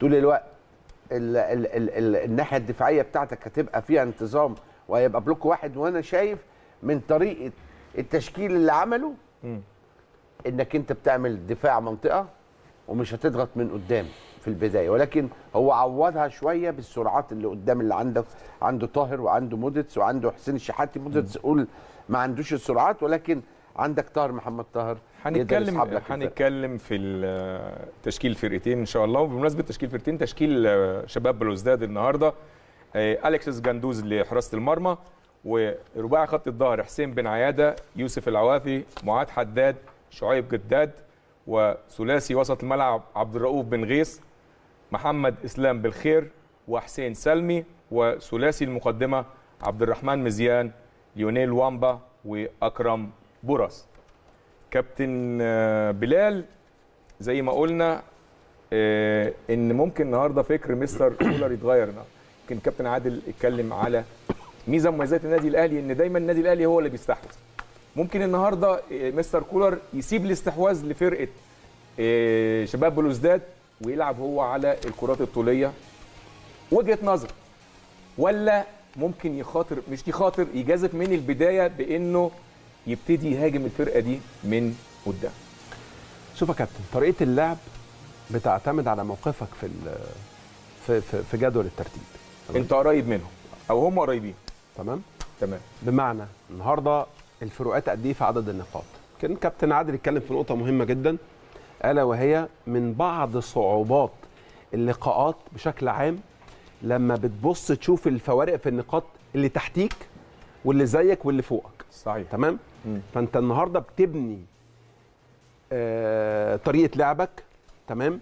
وبتحط أهدافك في الماتش الأهداف اللي أنت عايز تحققها جوه المباراة يعني تمام؟ تمام. بناء على النقاط اللي موجودة اللي أنت بتحصل اللي موجودة عندك أو الفوارق اللي موجودة. النهارده الأهلي خمس نقاط.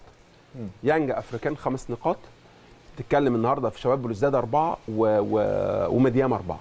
أنت المباراة اللي جاية طالع بره. ميديام. مباراة صعبة. صحيح. أجواء صعبة. لأن أجواء الإفريقية دايما بتبقى صعبة. ممكن الجو والرطوبة ودرجة الحرارة والمطر والملعب هتلاقي أجواء ممكن تكون مخيفة بالنسبة لك. والكل عنده أمل. فال- فالمكسب آه طبعا والمكسب فيها مش مضمون. هم النهارده هم تعادلوا المباراة اللي فاتت يانج و- و- ومدياما وبقى كل دي ده, ده أربع نقاط وده خمس نقاط. فالنهاردة أنت رايح له الماتش اللي جاي. صحيح. فالنهاردة عنده حوافز غير عادية هيلعبك بيها الماتش اللي جاي. لأن أنت النهارده لو لا قدر الله اتعطلت هيبقى هو عنده سبع نقاط وانت عندك خمس نقاط. فبالنسبة له الدنيا هتبقى زي الفل. فالنهاردة لا أنا ببني النهارده بناء على الموقف بتاعي ال- اللي أنا موجود في جدول الترتيب. الأهلي عنده مباراة في القاهرة ممكن إن شاء الله ممكن مش هنقول بسهولة بس يعني بنقول إن هي ثلاث نقاط بالنسبة لنا لأن النهارده عشان تصعد وتكسب وتواصل لازم المباريات اللي داخل ملعبك تكسبها. تكسبها وهو ده اللي عطلنا خد بالك. هو ده اللي عطلنا ما أنا بقول لك هو ده اللي عطلنا. لما تعادلنا مع شباب بلوزداد على ملعبنا هو ده اللي عطلنا. فبالتالي زي ما انت تعطلت لازم تعطل الفرقة معاك. تمام؟ ولازم على الأقل تخرج بنقطة التعادل إن لم تكسب النهارده الماتش. النهارده مش عايز أقول مباراة يبقى فيها ضغط لكن بطبيعة الفرق الكبيرة لما بيبقى المباراة head to head بتبقى عندك plan جوه الملعب. تمام؟ ما بتسيبش نفسك لظروف الماتش. ما بتقولش لا أنا هلعب وأشوف الدنيا هتمشي إزاي وأشوف الفرقة الثانية لو ما ضغطتش أنا هضغط ولو ما استحوذتش أنا هستحوذ. لا أنت لازم يكون عندك هدف خاصة إن دي مباراة الأول والثاني أو مين اللي هيصعد فينا إحنا الاثنين تمام؟ أو إحنا الاثنين ممكن نصعد على حساب مين؟ فالمباراة هو النهارده هيضغط وأنت كمان لازم تضغط النهارده تمام؟ لازم تروح المباراة. كويس. هو هو يعني بنسبة كبيرة هيضغط من بداية المباراة. أنا اتفرجت على الفرقة دي مرتين ثلاثة أيوه. عندهم مشكلة كبيرة جدا لما بتضغط عليهم. مظبوط. كبيرة جدا جدا. صحيح. تمام؟ لأن هو عايز يعمل إيه؟ هو عايز يحضر من تحت ويبتدي يلعب كرة طولية زي ما قال الكباتن أو زي ما كابتن عادل على اطراف الملعب ويبتدي يشتغل ويعمل الكرات العرضية ويسجل منها أهداف. ودي ال- ودي الطريقة اللي كسب بيها ثلاثة على ملعبه. الماتش الأولاني أول ماتش في ال في ال في بطولة المجموعات. فالنهاردة أنت لازم ما تديلوش فرصة إن هو يبتدي يحضر وتبقى سهل اللعبة بالنسبة له. لو عملت كده اديته الفرصة دي هو هيبتدي يشتغل يبتدي يشتغل على السرعات تمام؟ أي فرقة يا كابتن أيمن بتديهم فرصة انه يبتدي يحضر وينقل اولا بياخدوا ثقة في نفسهم ده تاني صحيح. حاجة بيبتدي يدور على حلول. المدير الفني بيبقى قاعد بره بيفكر في step 2 أو ال plan- ال plan رقم 2 أنا بالنسبة لي خلاص ابتديت استحوذ. هبتدي أهاجم إزاي؟ هبتدي أخترق إزاي؟ إحنا مش عايزين نوصله إنه يبتدي يفكر في المرحلة الثانية الحتة الثانية ههاجم إزاي؟ هستحوذ هسجل هدف إزاي؟ لا. بس هي الحلول تبدو صعبة. في ظل الظروف دي الحلول حلو. تبدو صعبة. يعني ليه؟ حتى أنت بتتكلم على الضغط مثلا. حلو. إحنا بقى لنا أكتر من 50 يوم ما خدناش مباراة رسمية. جميل. فالوضع الطبيعي ان, إن أنت مش عايز تستنزف الفريق آه، بس أنت مش قاعد مريح. الشوط أنت الاولاني مش قاعد مريح يا كابتن. مش مريح. أنت لعبت ماتشات ودية وعملت ماشي. معسكر وعملت تأهيل. بس- والنهاردة إحنا سمعنا ما شفناش الحقيقة. أنا سم- سمعنا إن موديست جاب جونين هنا وثلاثه هنا ومتألق واللعيبة ورضا سليم رجع. واللعيبة تبدو الحالة اللي واصلة لنا حالة جيدة بالنسبة لك. أيوة. فالنهارده انت مباراه بعد اشتياق لكره القدم عايز تعمل كل حاجة. اللعيبه طبعا بعد لما بتقعد فترة طويلة جدا تبقى عايز يعني تاكل النجيلة عايز تعمل كل حاجة في الملعب. تمام؟ والمدرب في الحتة دي هو اللي بيحجم مش العكس. مش المدرب تمام، اللي بيدي. الحوافز واللعيبة هي اللي بتهدى. لا انت بتتكلم في عكس الموضوع. أنا لعيب أنا مشتاق للماتشات. عندي اشتياق عندي لهفه عندي يعني عندي باور عايز أخرجه. بعد 50 يوم ما لعبتش مباريات. مش هقول انت كنت عطل مش قاعد. كده. بس. هو الجانب البدني هيبقى عنصر مهم جدا جدا النهارده يعني أنت برضو أنت ك... كمستر كولر هو بيفكر ان هو يلعب ال 90 دقيقة حلو. هيلعب الماتش كام حلو. فأنا مش عايز أجهد الفريق بدنيا الشوط الأول بالضغط المستمر من لا أنا ما البداية بقولش ضغط وأجي الشوط الثاني مفيش فرقة بتضغط يا كابتن 90 دقيقة مم. لكن أنا من البداية ممكن أنا ناخد ال- الستارت أنا اللي اخد البداية تمام؟ أنا اللي أبتدي ضغط من أول الم... ليه أسيبه هو اللي يضغطني في أول الماتش وأبتدي؟ طب لو ضغطك لا قدر الله في واحدة وسجل هدف من كرة عرضية من ضربة ركنية من كرة ثابتة المباراة تتحول تماما. تبقى عندك مشكلة كبيرة جدا. أنت اللي هتفتح الخطوط وهو هيوصل للنتيجة اللي أنت عايز توصل لها بعد كده اللي هو إيه؟ بلعب على الهجمات المرتدة السريعة وبستغل المناطق ال- ال- الفاضية وبستغل التحولات بتاعتي وبدور على الحاجات الحاجات اللي فيها مشاكل عند النادي الأهلي اللي ورا الاثنين الاثنين الباكين. لا مش عايزين نشتغل في الحتة دي مش عايزين نوصل للمرحلة دي. انت النهارده بتلعب آه ثلاثة midfielders يعني شكل الراجل تمام عايز عايز إن هو يقفل خط النص بشكل كويس طبعا. تمام؟ وبالتالي أنا شايف النهارده على الورق إن هو هيلعب نص ملعب. أنا ش... على الورق بيقول كده. لكن أنا بكلمك في العادي بتاعك إنك أنت النهارده أنت محتاج الماتش. أو أنت مش مش محتاجه. أنت محتاج الماتش. محتاج النهارده تكسب. لأن النهارده لا قدر لو حصل حاجة. عكسية. المباراة اللي جاية بتلعب في إفريقيا في مل- ملاعب وأجواء ممكن تكون صعبة بالنسبة لك. لو حاجة حاجة عكسية خلاص أنت بره البطولة. فبالتالي النهارده لازم يبقى أنت عندك ال- البداية. لازم أنت يعني مش عايز أقول لك إنك هتضغط طول ال 90 دقيقة وهتجهد اللعيبة وهتوصل لمرحلة إن أنت من الدقيقة 70 مش قادر. لا. ولكن يا كابتن ايمن أنا عايز ادي message للفرقة اللي قدامي لا المباراة مش سهلة. أنا مش مش هلعب zone defense واسيبك تلعب براحتك وتحضر وتلعب وتباصي وبعدين تلعب كرة طويلة مرة وبعدين تلعب كرة بالعرض مرة وبعدين تروح واحد على واحد مرة. لا أنا من البداية اول 10 دقائق على الاقل ابتدي ضغط وابتدي انظم نفسي في الملعب. مرة اضغط ومرة ارجع لنص الملعب يعني أنا اسير ال game. زي ما أنا عايز. أيوة. ما اديش الفرقة اللي قدامي الاحساس ان أنا جاي. بقول له بص أنا جاي العب على التعادل. تمام؟ أيوة. ولو جت فرصة كده ولا كده ولا هجمة ولا كرة عرضية أبتدي أدخل معاك في ال game لا أنا عايز من بداية الماتش طريقة لعب النادي الأهلي الطبيعية. الطريقة الطبيعية أنا بستحوذ بمسك كورة بنقل بحضر بشتغل. يعني في مرة أكيد من الأوقات هتشتغل هجمات مر... أكيد هتشتغل هجمات مرتدة. لأن الطبيعي هو يضغطك برضه. ده طبيعة طبيعة اللعب وطبيعة كرة القدم كده مفيش فرقة بتفضل مستحوذة ومفيش فرقة بتفضل ضاغطه طول المباراة. فالنهاردة لازم لازم أديله مسج إن أنا جاي أكسب عندك المباراة. هي مدارس أيمن. آه ما هي وجهات نظر وجهات كمان. نظر يعني مظبوط، في آه. وجهة نظر مثلا آه، طبعا بلال بيتكلم من وجهة نظر معينة. في وجهة نظر تانية أكثر واقعية اللي إحنا كنا بنتكلم عليها أيوه. من شوية إن أنا آه النادي الأهلي لازم يعمل كذا وكذا إنما بنتكلم على الأسباب اللي إحنا قلناها في البداية كلنا. صح. ما الظروف. تديش ما تديش عادل الحتة دي هناك لا ده تدي إن أنا أبقى تحت الكورة آه أبقى تحت الكورة واستنى لأن كمان كون إن هو بيلعب بمودست طريقة لعبه غير كهربا. كهربا طبعا. يترمي له في البعيد في المساحات بيروح كده. إنما ده محطة. و- يعني آه. هو هيعتمد على إن مودست محطة ممكن ياخد عشان فاولات. عشان ينقل عليها أو يسحب ال defense أو المساك عشان يستغل سرعات بقى حسين وطاهر و و طب هو في سؤال يا كابتن أيمن أيوة، دلوقتي. في المباراة دي. المباراة بتاعت النهارده ما بعديها مين؟ ده مهم جدا. انت رايح مباراتين بره ملعبك. مظبوط. انت تكتيكيا هل في مدربين بقى يقول لك اعمل risk في مباراة من الاثنين اخد الثلاثة نقاط والمباراة الثانية العب على التعادل؟ أو ممكن. أو أو, أو, أو, أو العكس. أو العكس أو أو يحصل أي حاجة. أيوه. هي استراتيجية مدرب. ولكن الحتة اللي قالها بلال في أهمية نفسية هو بلال بيفكر في إيه؟ بيفكر إنه النادي الأهلي يعني اللي وصلني طبعا. إن النادي الأهلي أنت لازم تدي رسائل للفرقة الثانية إن أنا جاي أكسب. لعبي لعب العادي. أيوة. يعني هو آه، يمكن أنا اتكلمت في دي يا بلال قبليها قلت إيه؟ قلت إن النادي الأهلي لما حتى لما بيعمل zone defense الفرقة ما بتهاجموش بشراسة. لأنه في ضغط أنواع. في ضغط قوي جدا إن أنا أحبس الفرقة الثانية في مكانها وأقطع من قدام عشان أجيب جون وده اللي بيعمله الأندية زي المان سيتي وال آه، في ضغط تاني أنا عامله ولكن عندي اتزان دفاعي ورا اللي هو الضغطة الواهية. أنت عايز دي؟ أنا بتهيألي النادي الأهلي النهارده إن اراد إن هو يكسب المباراة لازم يشتغل واحدة واثنين وبعدين يرجع يعمل zone تحير الراجل الآخر المدرب الثاني أنت ولا بتلعب zone؟ ولا بتلعب ضغط ولا بتلعب باتزان. انت بتلعب خ... يعني إيه؟ اللي هو إيه؟ 10 دقايق بتقسم الملعب. 10 دقايق وبعدين ترجع تاني. صحيح. 10 دقايق وبعدين تشتغل تاني. جبت جون ممكن تزود. على حسب الناحية النفسية لأنه هو estimation والطريقة ما بينه وما بين ده. اللي- ده اللي أنا أيوه أيوة ده اللي أنا قلت إن هو أنت التوازن ده بلال مهم ما تديش جداً. قراية للي قدام. ما تديش ال game. هو مستر كولر طبعا مهم جدا بالنسبة له التوازن ده. يبقى عنده توازن في الدفاع. وعنده توازن في الجمل التكتيكية اللي إحنا متمرنين عليها. بمعنى في خلق المساحات عندك سرعات دلوقتي موجودة في طاهر وموجودة في الشحات. لكن آه، آه، آه، مودست ممكن يبقى محطة. فأنت في أوقات هتلجأ للكور اللي فيها خلق مساحة عشان تقدر تستغل صحيح. السرعات أنا عايز اللي أقول موجوده حاجة عندك. كابتن ماهر بس رد. على كابتن عادل.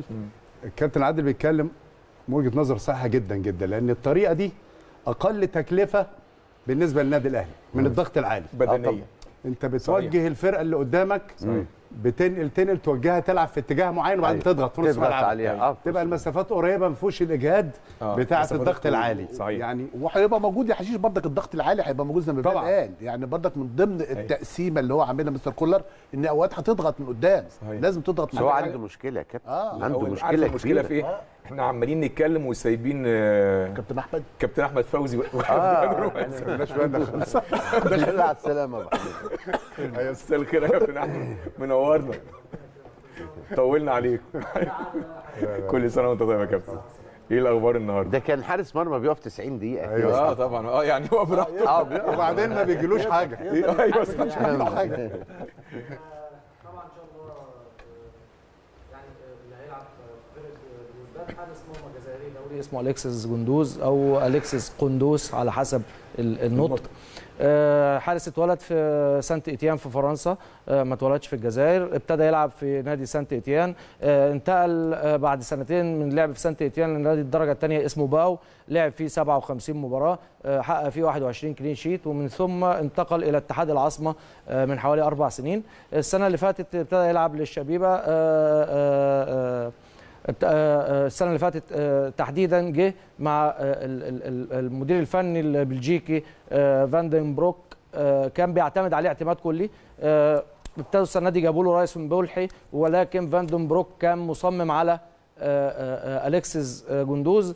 وعملت مشاكل كبيرة جدا. الإدارة عملت مشاكل مع فاندن بروك ويمكن ده سبب مشيان فاندن بروك فعلا إن الإدارة تدخلت في عمله وأصرت إن آه، الرايس مبولحي يلعب. يمكن أول مباراة الرايس يلعبها اللي كانت عندنا هنا في القاهرة. وأنا قلت كده آه، آه، في وقتها.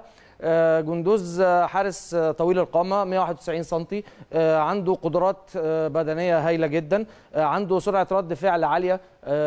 بيمتاز بالطول الفارع ولكن عنده مشكلة في نقطة الطول الفارع دي. إنه ما بيطلعش على الكره العالية بره ال six yard. معظم آه، المدرسة الفر- الفرنسوية بتلعب على رد الفعل تحت ثلاث آه، خشبات. آه، أعتقد هو بي- بيشتغل بنفس الطريقة بالظبط.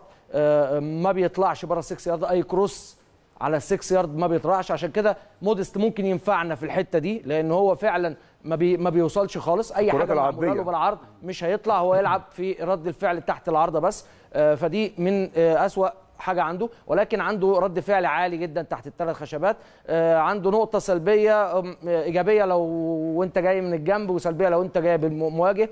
الانفرادات كلها ما بيطلعش يهاجم في كل الانفرادات بيستنى بيستناك. لآخر لحظة لما المهاجم ياخد قراره عشان هو يتحرك. فدي لو أنت جاي من الجنب جاي له انفراد من الجنب هتبقى بالنسبة له آه، آه، سهلة وصعبة للمهاجم. أيوة. ولكن جاي من المواجهة هيسهل ويوسع الجون جدا على اللي جاي له. آه، فأعتقد دي لازم آه، نشتغل عليها من بدري. آه، عنده رد فعل كويس جدا في التصويبات. مع طول قامته ولكن ال flexibility عنده عالية. بيقدر ينزل بسرعة تحت قدميه بيشتغل بيهم كويس جدا. أشول بيعرف يلعب الكور الطويلة بامتياز جدا. يعني ممكن يحضره من تحت وتلاقيه بيعمل هو اللي بيعمل long ball لل strikers أو ال striker والاثنين ال wingers ف ده كده يلعب لوحده. لا هو لعيب كويس انت قلت كل حاجة. لا يا كابتن هو فعلا هو بص هو بص في ال shooting ورد الفعل في السكس يارد كويس. إنما الكروسات والانفرادات آه، إن شاء الله هنكسب من الناحية دي. إن شاء. الله هنكسب من الناحية دي. هو ما بيتعاملش فيها كويس ولكن هو آه، من الناس اللي, على فكرة لعب آه، آه، البطوله بتاعة المحليين السنة اللي قبل اللي فاتت اللي كسبتها الجزائر وكان متألق ويمكن في الماتش النهائي اتصاب في أول 19 دقيقة وخرج والجمهور الجزائري بيحبه لأنه قعد يعيط في المباراة وهو خارج فيمكن آه، عنده آه، عنده قبول كده في في ال- في ال- في الفريق الجزائري ونتمنى من الله إن شاء الله إن إحنا اهم حاجة نشوط عليه مره واثنين وثلاثه حتى لو هو بي- بي- بيعرف يصد أو بيصد كويس وعنده flexibility لازم التجربه مره واثنين وثلاثه. مصطفى شوبير. مصطفى شوبير. آه يمكن الناس آه ممكن تكون متخوفة ولكن الحمد لله بثقة من الله وثقة في مصطفى. أعتقد إنه آه إن شاء الله هيبتدي النهارده بداية موفقة. ما عنده شخصية آه قوية جدا بيقدر يتعامل مع كل المواقف بثبات عادي لما يغلط وبعد ما بيغلط عادي جدا ما عندوش أي مشكلة. لو ما غلطش بيركب ال game الأول. آه آه خليني لازم بس أكلمك اللعيبه طيب خليني أكلمك على حتة الغلط بالنسبة لحارس المرمى. تمام. وخصوصا لما مثلا يتسبب في هدف. تمام. هل بتأثر عليه ولو لبعض الوقت؟ شخصية. شخصية. في شخصية يخش فيها جون ما عادي تجيب الكرة وتلعب هي وما عندهاش أي مشكلة عادي. أنا بخطأ زي زي ال third back اللي بيقلش زي الراس ال striker اللي بيجي لهم انفراد وما بيحطوش أنا بغلط عادي. وفي شخصية بتقعد تفكر في الهدف اللي دخل فيها خمس دقائق و10 دقائق لما يخرجها حتى لو الشخصية. ما هي الشخصية في بعض الأحيان ماشي. انت عندك شخصية في بعض المواقف ممكن تعدي الموقف دوت. بس لما تبقى انت مثلا أنا بتكلم على أي حارس مرمى. أي حد آه آه. آه إن أنت تبقى حاسس إن أنت غلطت وإن أنت مسؤول عن هدف دخل مرماك أكيد بتتأثر ولو يعني لبعض الوقت. ما أنا بقول لحضرتك آه، ممكن لو أنا تف... خدت جزء من تفكيري في اللي ضاع مني آه. مش هركز في اللي جاي. مم. إنما لو ركزت على اللي جاي وقلت أنا خنقت الفرقة وغرقتها في جون. لا مش هينفع يبقوا جونين وثلاثه لا ده أنا لازم أشد حيلي وأشيل جون واثنين عشان أبقى عوضت اللي دخل فيا. آه. دي اللي تفرق بقى. دي دي دي التركيز. تركيز حارس المرمى. أصل أنت مش على طول هتبقى كويس. صحيح. ومش على طول هتتألق. صحيح. هيجي لك وقت هتغلط هتغلط. آه. إنما بقى في قمة تركيزك مذاكرتك للمباراة وأنت بتتخيل تخيل بتتخيل إن أنت غلطت. النهارده أنا غلطت. بس لازم لما أغلط افوق وارجع فرقتي للجيم تاني. دي من مميزات مصطفى. أكيد أكيد دي من المميزات الكويسة جدا اللي عنده مصطفى. صحيح. آه خلينا نتكلم إن حارس المرمى ب... ال... ال... ال... ال... ال- اللي بيلعب في النادي الأهلي بيجي له بتيجي عليه كام كورة؟ ثلاثة أربعة؟ مثلا. تمام. لو هو آه، آه، آه، تركيزه عالي هيشيل من الأربعة ثلاث ثلاث كور يعني بنسبة نجاح 75% فهي القصة في إيه؟ أنت بس أهم حاجة تبقى مصحصح ومركز 100% في ال 90 دقيقة. إنما لو دماغك أو ودنك أو أي حاجة راحت مع حد تاني لا هت... هنقابل مشكلة. ولازم توجه اللعيبة اللي قدامك أعتقد دي عنده وبيعرف يتعامل معاها خط كويس. الظهر يا أحمد دور خط الظهر مهم قوي في المباراه أيوه كنت لسه أقول لحضرتك. والله. آه. آه، عايزين نفوقه. آه، طبعاً. مش عايزين كل كره نستلمها نلعب بالظبط. لتحت ونغرقه فيجي ضغط عليه فنتعبه زيادة. نتمنى من خط الظهر إن هو اللي, اللي صحيح. يعمل القصة دي بعيد عن مصطفى ال risk خالص. يبقى قليل. قوي. خصوصا في يعني البدايات طول ما يبقى في أمان لخط الظهر بيدي ثقة لمصطفى بشكل كبير جدا. والعكس صحيح. دور الرباعي اللي قدامه. مظبوط. مهم جدا جدا إن هم آه، آه، على قد ما يقدروا يبعدوا الخطورة عن مرمى. بالظبط يبعدوا الخطورة بشكل كبير جدا. ده هيدي مصطفى ثقة آه، بشكل كبير طول إن شاء الله صحيح. إن شاء الله. بإذن الله رب ربنا العالمين يكرم إن شاء الله. وإن شاء الله بعد المباراة آه، نطلع منصورين وإن شاء الله. مصطفى يعمل game كويس جدا ويكون إن شاء سبب الله. في إن إحنا نكسب النهارده المباراة بأمر الله. يا رب إن شاء الله, إن شاء الله. نشكرك شكرا جزيلا كابتن أحمد. ولينا لقاء آخر بعد المباراة إن شاء الله. نروح نشوف تقرير عن مباراة اليوم ونرجع نكمل كلامنا مع نجومنا الكبار عن تشكيل الفرقتين انتظرونا. نرحب بيكم مرة ثانية أعزائي المشاهدين. كابتن ماهر تشكيل النادي الأهلي النهارده. مصطفى وعلي وهاني ومنعم وياسر مروان وإمام وأكرم حسين الشحات موديس طاهر محمد طاهر. أعتقد إن هو ده تقريبا التشكيل الأنسب. وإن كنا كنا بنتكلم قبل المباراة بره بره الاستوديو إن ممكن يكون مثلا على حساب موديست ممكن آه، تفكير في قفشة أو عمرو السولية. هو زي ما قال آه، كابتن أحمد بلال لا هو فكر النهارده في نص الملعب يأمن نص الملعب زيادة فلاعب أكرم توفيق. هو- مستر كولر آه، يعني است- استراتيجيته للمباراة فكر في الناس اللي موجودة معاه آه، آه، بالنسبة له وهو متابعها من خلال ال 50 يوم. من خلال الوحدات التدريبية من خلال التدريبات البدنية الفنية التكتيكية المباريات ال- المتدرجة اللي عملها.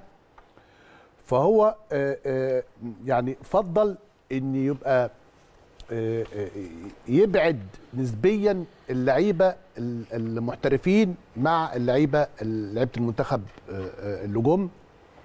لأن إحنا برضك لعيبة المنتخب خدت فترة الحالة النفسية مخفقنا في البطولة. يعني اللعيبة كانت يعني متضايقة وقرفانة بلغة الكورة. كمان اللعيبة اللي استمرت المحترفين زي ديانج و- و- وبيتستاو استمروا. وقع عليهم إجهاد ووقع عليهم إصابات. أيوة. إن أنت برضك عارف إن المباريات هناك صعبة جدا عشان أنت تلعب ست مباريات ورا بعض في بطولة زي كده مع رطوبة عالية وال- 80% أيمن بتبقى في منتهى الصعوبة يعني. صحيح. يعني أنا واحد من ضمن ال- ال- اللي لعبت أربع دورات كنت بتعور في المباراة الرابعة. أيوه. من خلال الرطوبة والإجهاد وال وال. وال والمجهود المبذول والالتحامات القوية مع اللعيبه المحترفين آه، آه، الأفارقة. صحيح. فهو عمل توازن بشكل كبير جدا من خلال التشكيل يعني. مصطفى شوبير مصطفى آه، ما شاء الله كابتن أيمن الكباتن عارفين إن مصطفى لعب كأس الرابطة وكان بيأدي فيه بشكل مميز. لعب نهائي أفريقيا. برضك اديته ثقة أكتر. مصطفى زي ما أحمد كده اتكلم على الشخصية آه، عنده شخصية بيجي فيه جول ممكن يكون خطأ لكن على طول بيرجع يعني آه، دقيقة دقيقتين ثلاثة. بيلم صحيح. بيلم تمام مصطفى عنده شخصية بيتعامل مع اللعيبة اللي قدامه بشكل آه، بشكل جيد من خلال توجيهاته ساعات كمان بيقوم بدور الليبرو آه، ورا خط ظهره بشكل آه، آه، مميز كمان الحاجات اللي بيتبني بيها هجمه لما بترجع له بيقدر يطلعها آه، عندنا خط ظهر ال- الأربعة ما شاء الله من أفضل اللعيبة اللي موجودين إذا كان في في في منتخب مصر أو النادي الأهلي وكمان في منتخب تونس. علي معلول بخبرته مهم جدا في المباريات ديت علي بنشوفه بشكل كبير جدا. محمد عبد المنعم من أفضل اللعيبة اللي لعبت في المكان دوت عنده ثقة جاي من المنتخب عنده ثقة كبيرة جدا. ياسر اللي اتظلم ياسر إبراهيم. كنا كلنا بنطالب إن ياسر يبقى موجود مكان حجازي من بداية البطولة لكن سبحان الله أنا شايف إن ياسر اتظلم بشكل كبير جدا. محمد هاني كمان اكتسب خبرات.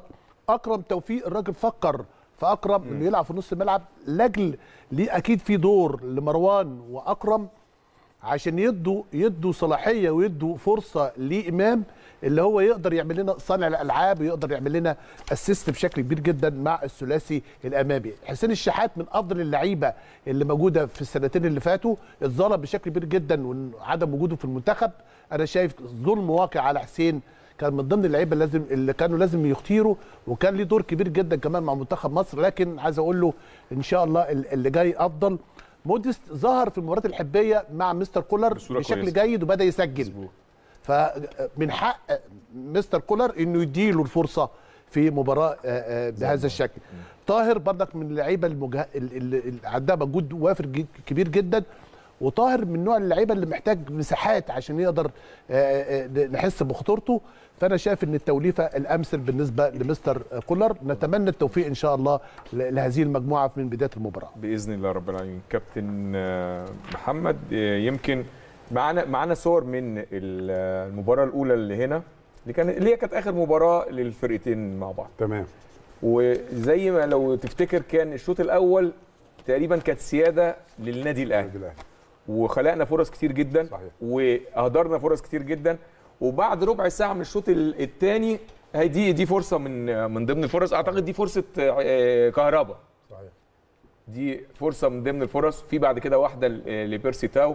في واحدة آه، بعد كده من ناحية ال- الشمال.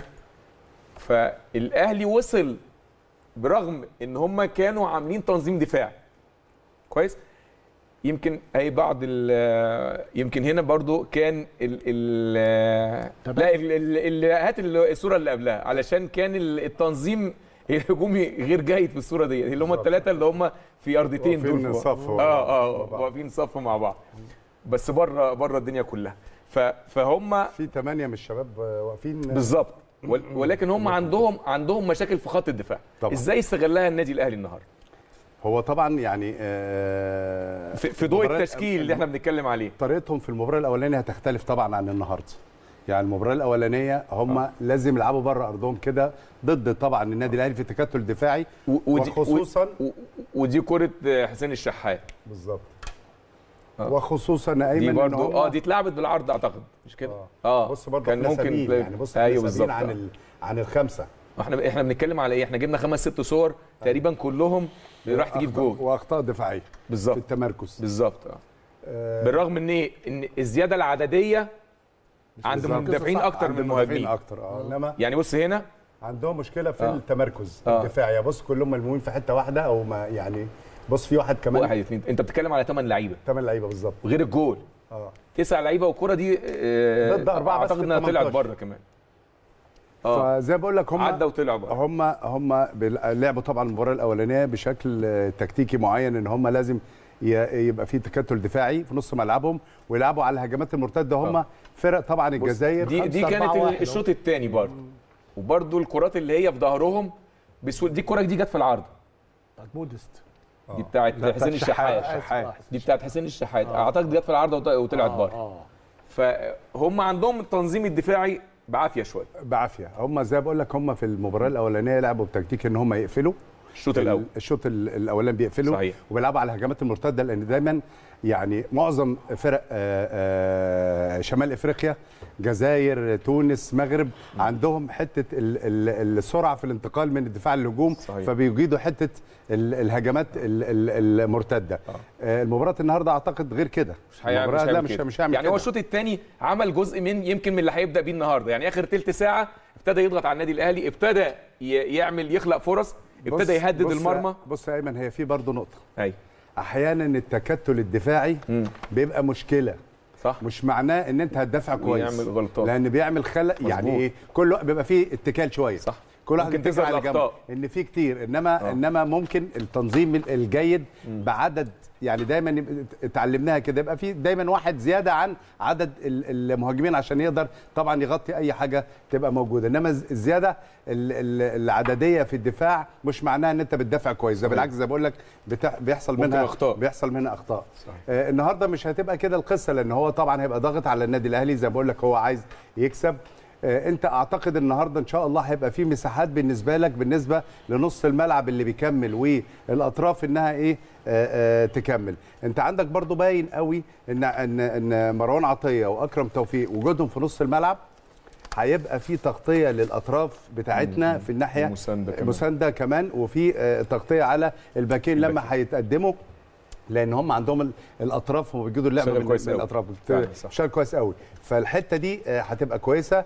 كذلك برضو ممكن يبقى الواجبات الواجبات الهجومية بالنسبة لهم أقل شوية من الدفاعية. وهيسيبوا التحركات اللي هي ال- الهجومية بالنسبة لإمام عاشور. يبقى عنده حريه حرية شوية في.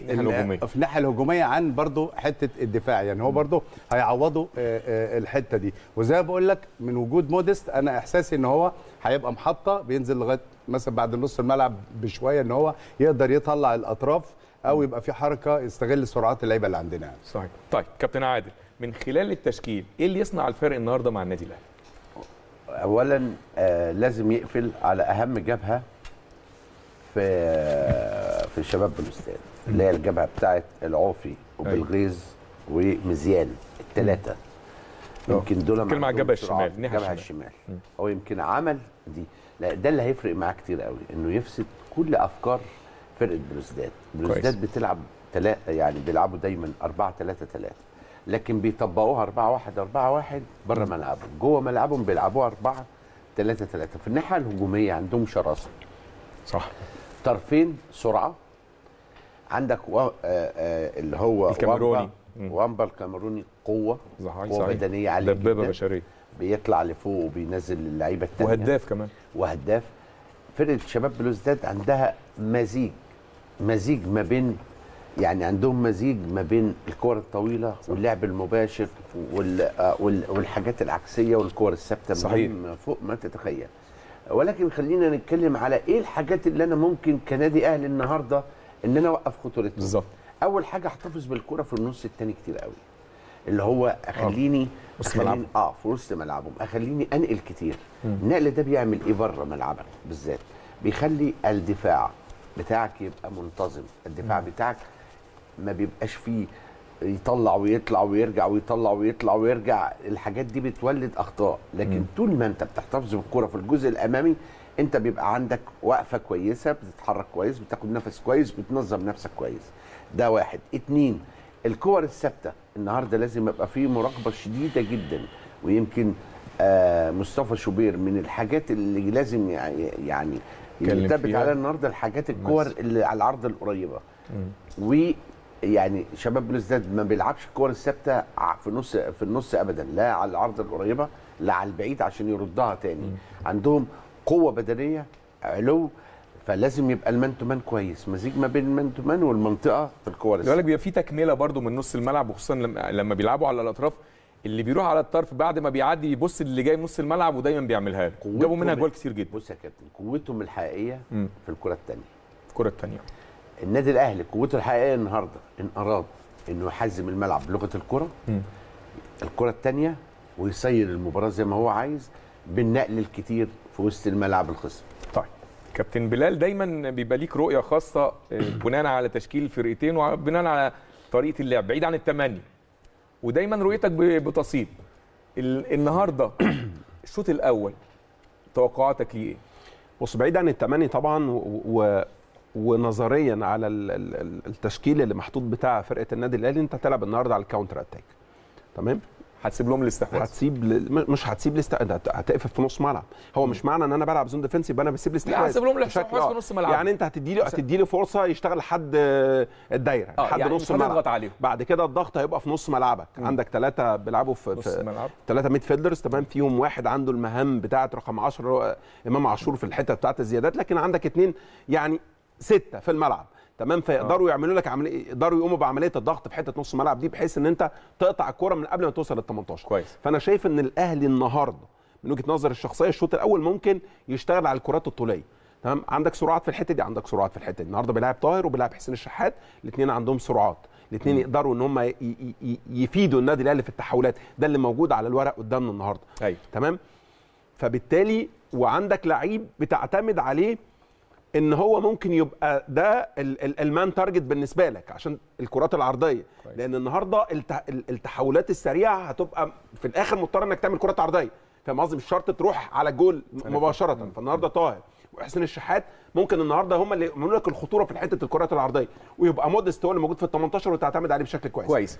معنى كلامك إن في الشوط الأول يعني بنسبة كبيرة جدا مش هيكون في أي دور هجومي لعلي معلول ومحمد هاني؟ لا، ممكن. في حالة يعني لما خد بالك ما هم برضه مش هيضغطك طول طول طول المباراة برضه في ال- في ال 45 دقيقة. أيوة. انت كده هتيجي فترة وتستحوذ بتبتدي تشتغل وبتبتدي تلعب وبتبتدي تروح لكن أنا بكلمك في ال في ال في طبيعة فكر الراجل النهارده في في ال- في الماتش. مقفل كويس اشتغل على الكرات. الكرات المرتدة السريعة عايز يخلق مساحات ورا اثنين الاثنين الباكين بتوعهم. يعني عايز يلعبك زي ما الفرق بتلعبك هنا في القاهرة. بالظبط. تمام؟ فبالتالي يبقى عنده فرصة. انه يشتغل على ال counter attack بشكل كويس وفي نفس الوقت يقفل نص ملعب ما يديش فرصة لفرقة آه، شباب بلوزداد ان هو يبتدي يشتغل ويبقى عنده مساحات يشتغل فيها. ده اللي أنا شايفه من خلال ال- الورق وده اللي اعتقد ان ممكن يعمله النهارده آه، مستر كولر. هل ممكن ان انت تستحوذ بعض الاوقات آه طبعا. تمام؟ لما أكيد هم مش هيفضل ضاغط طول طول طول الوقت. أيوة. فبالتالي يجي عندك فرصة تبتدي تنقل وتروح وت...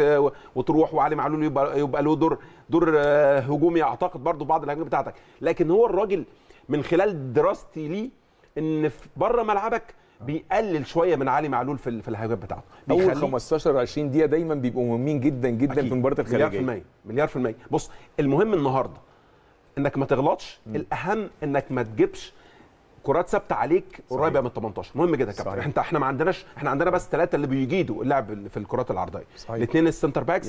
وعندك. مودست طبعا هو يعني ال- ال- اللي عنده أطوال. مظبوط. لكن بقية الفرقة عندنا ما بيجيدوش اللعب في في الكرات العرضية أو الكرات الثابتة تحديدا. فبالتالي مهم جدا إنك ما تجيبش كرات ثابتة عليك لأن دي هتبقى خطر في منتهى الخطورة النهارده.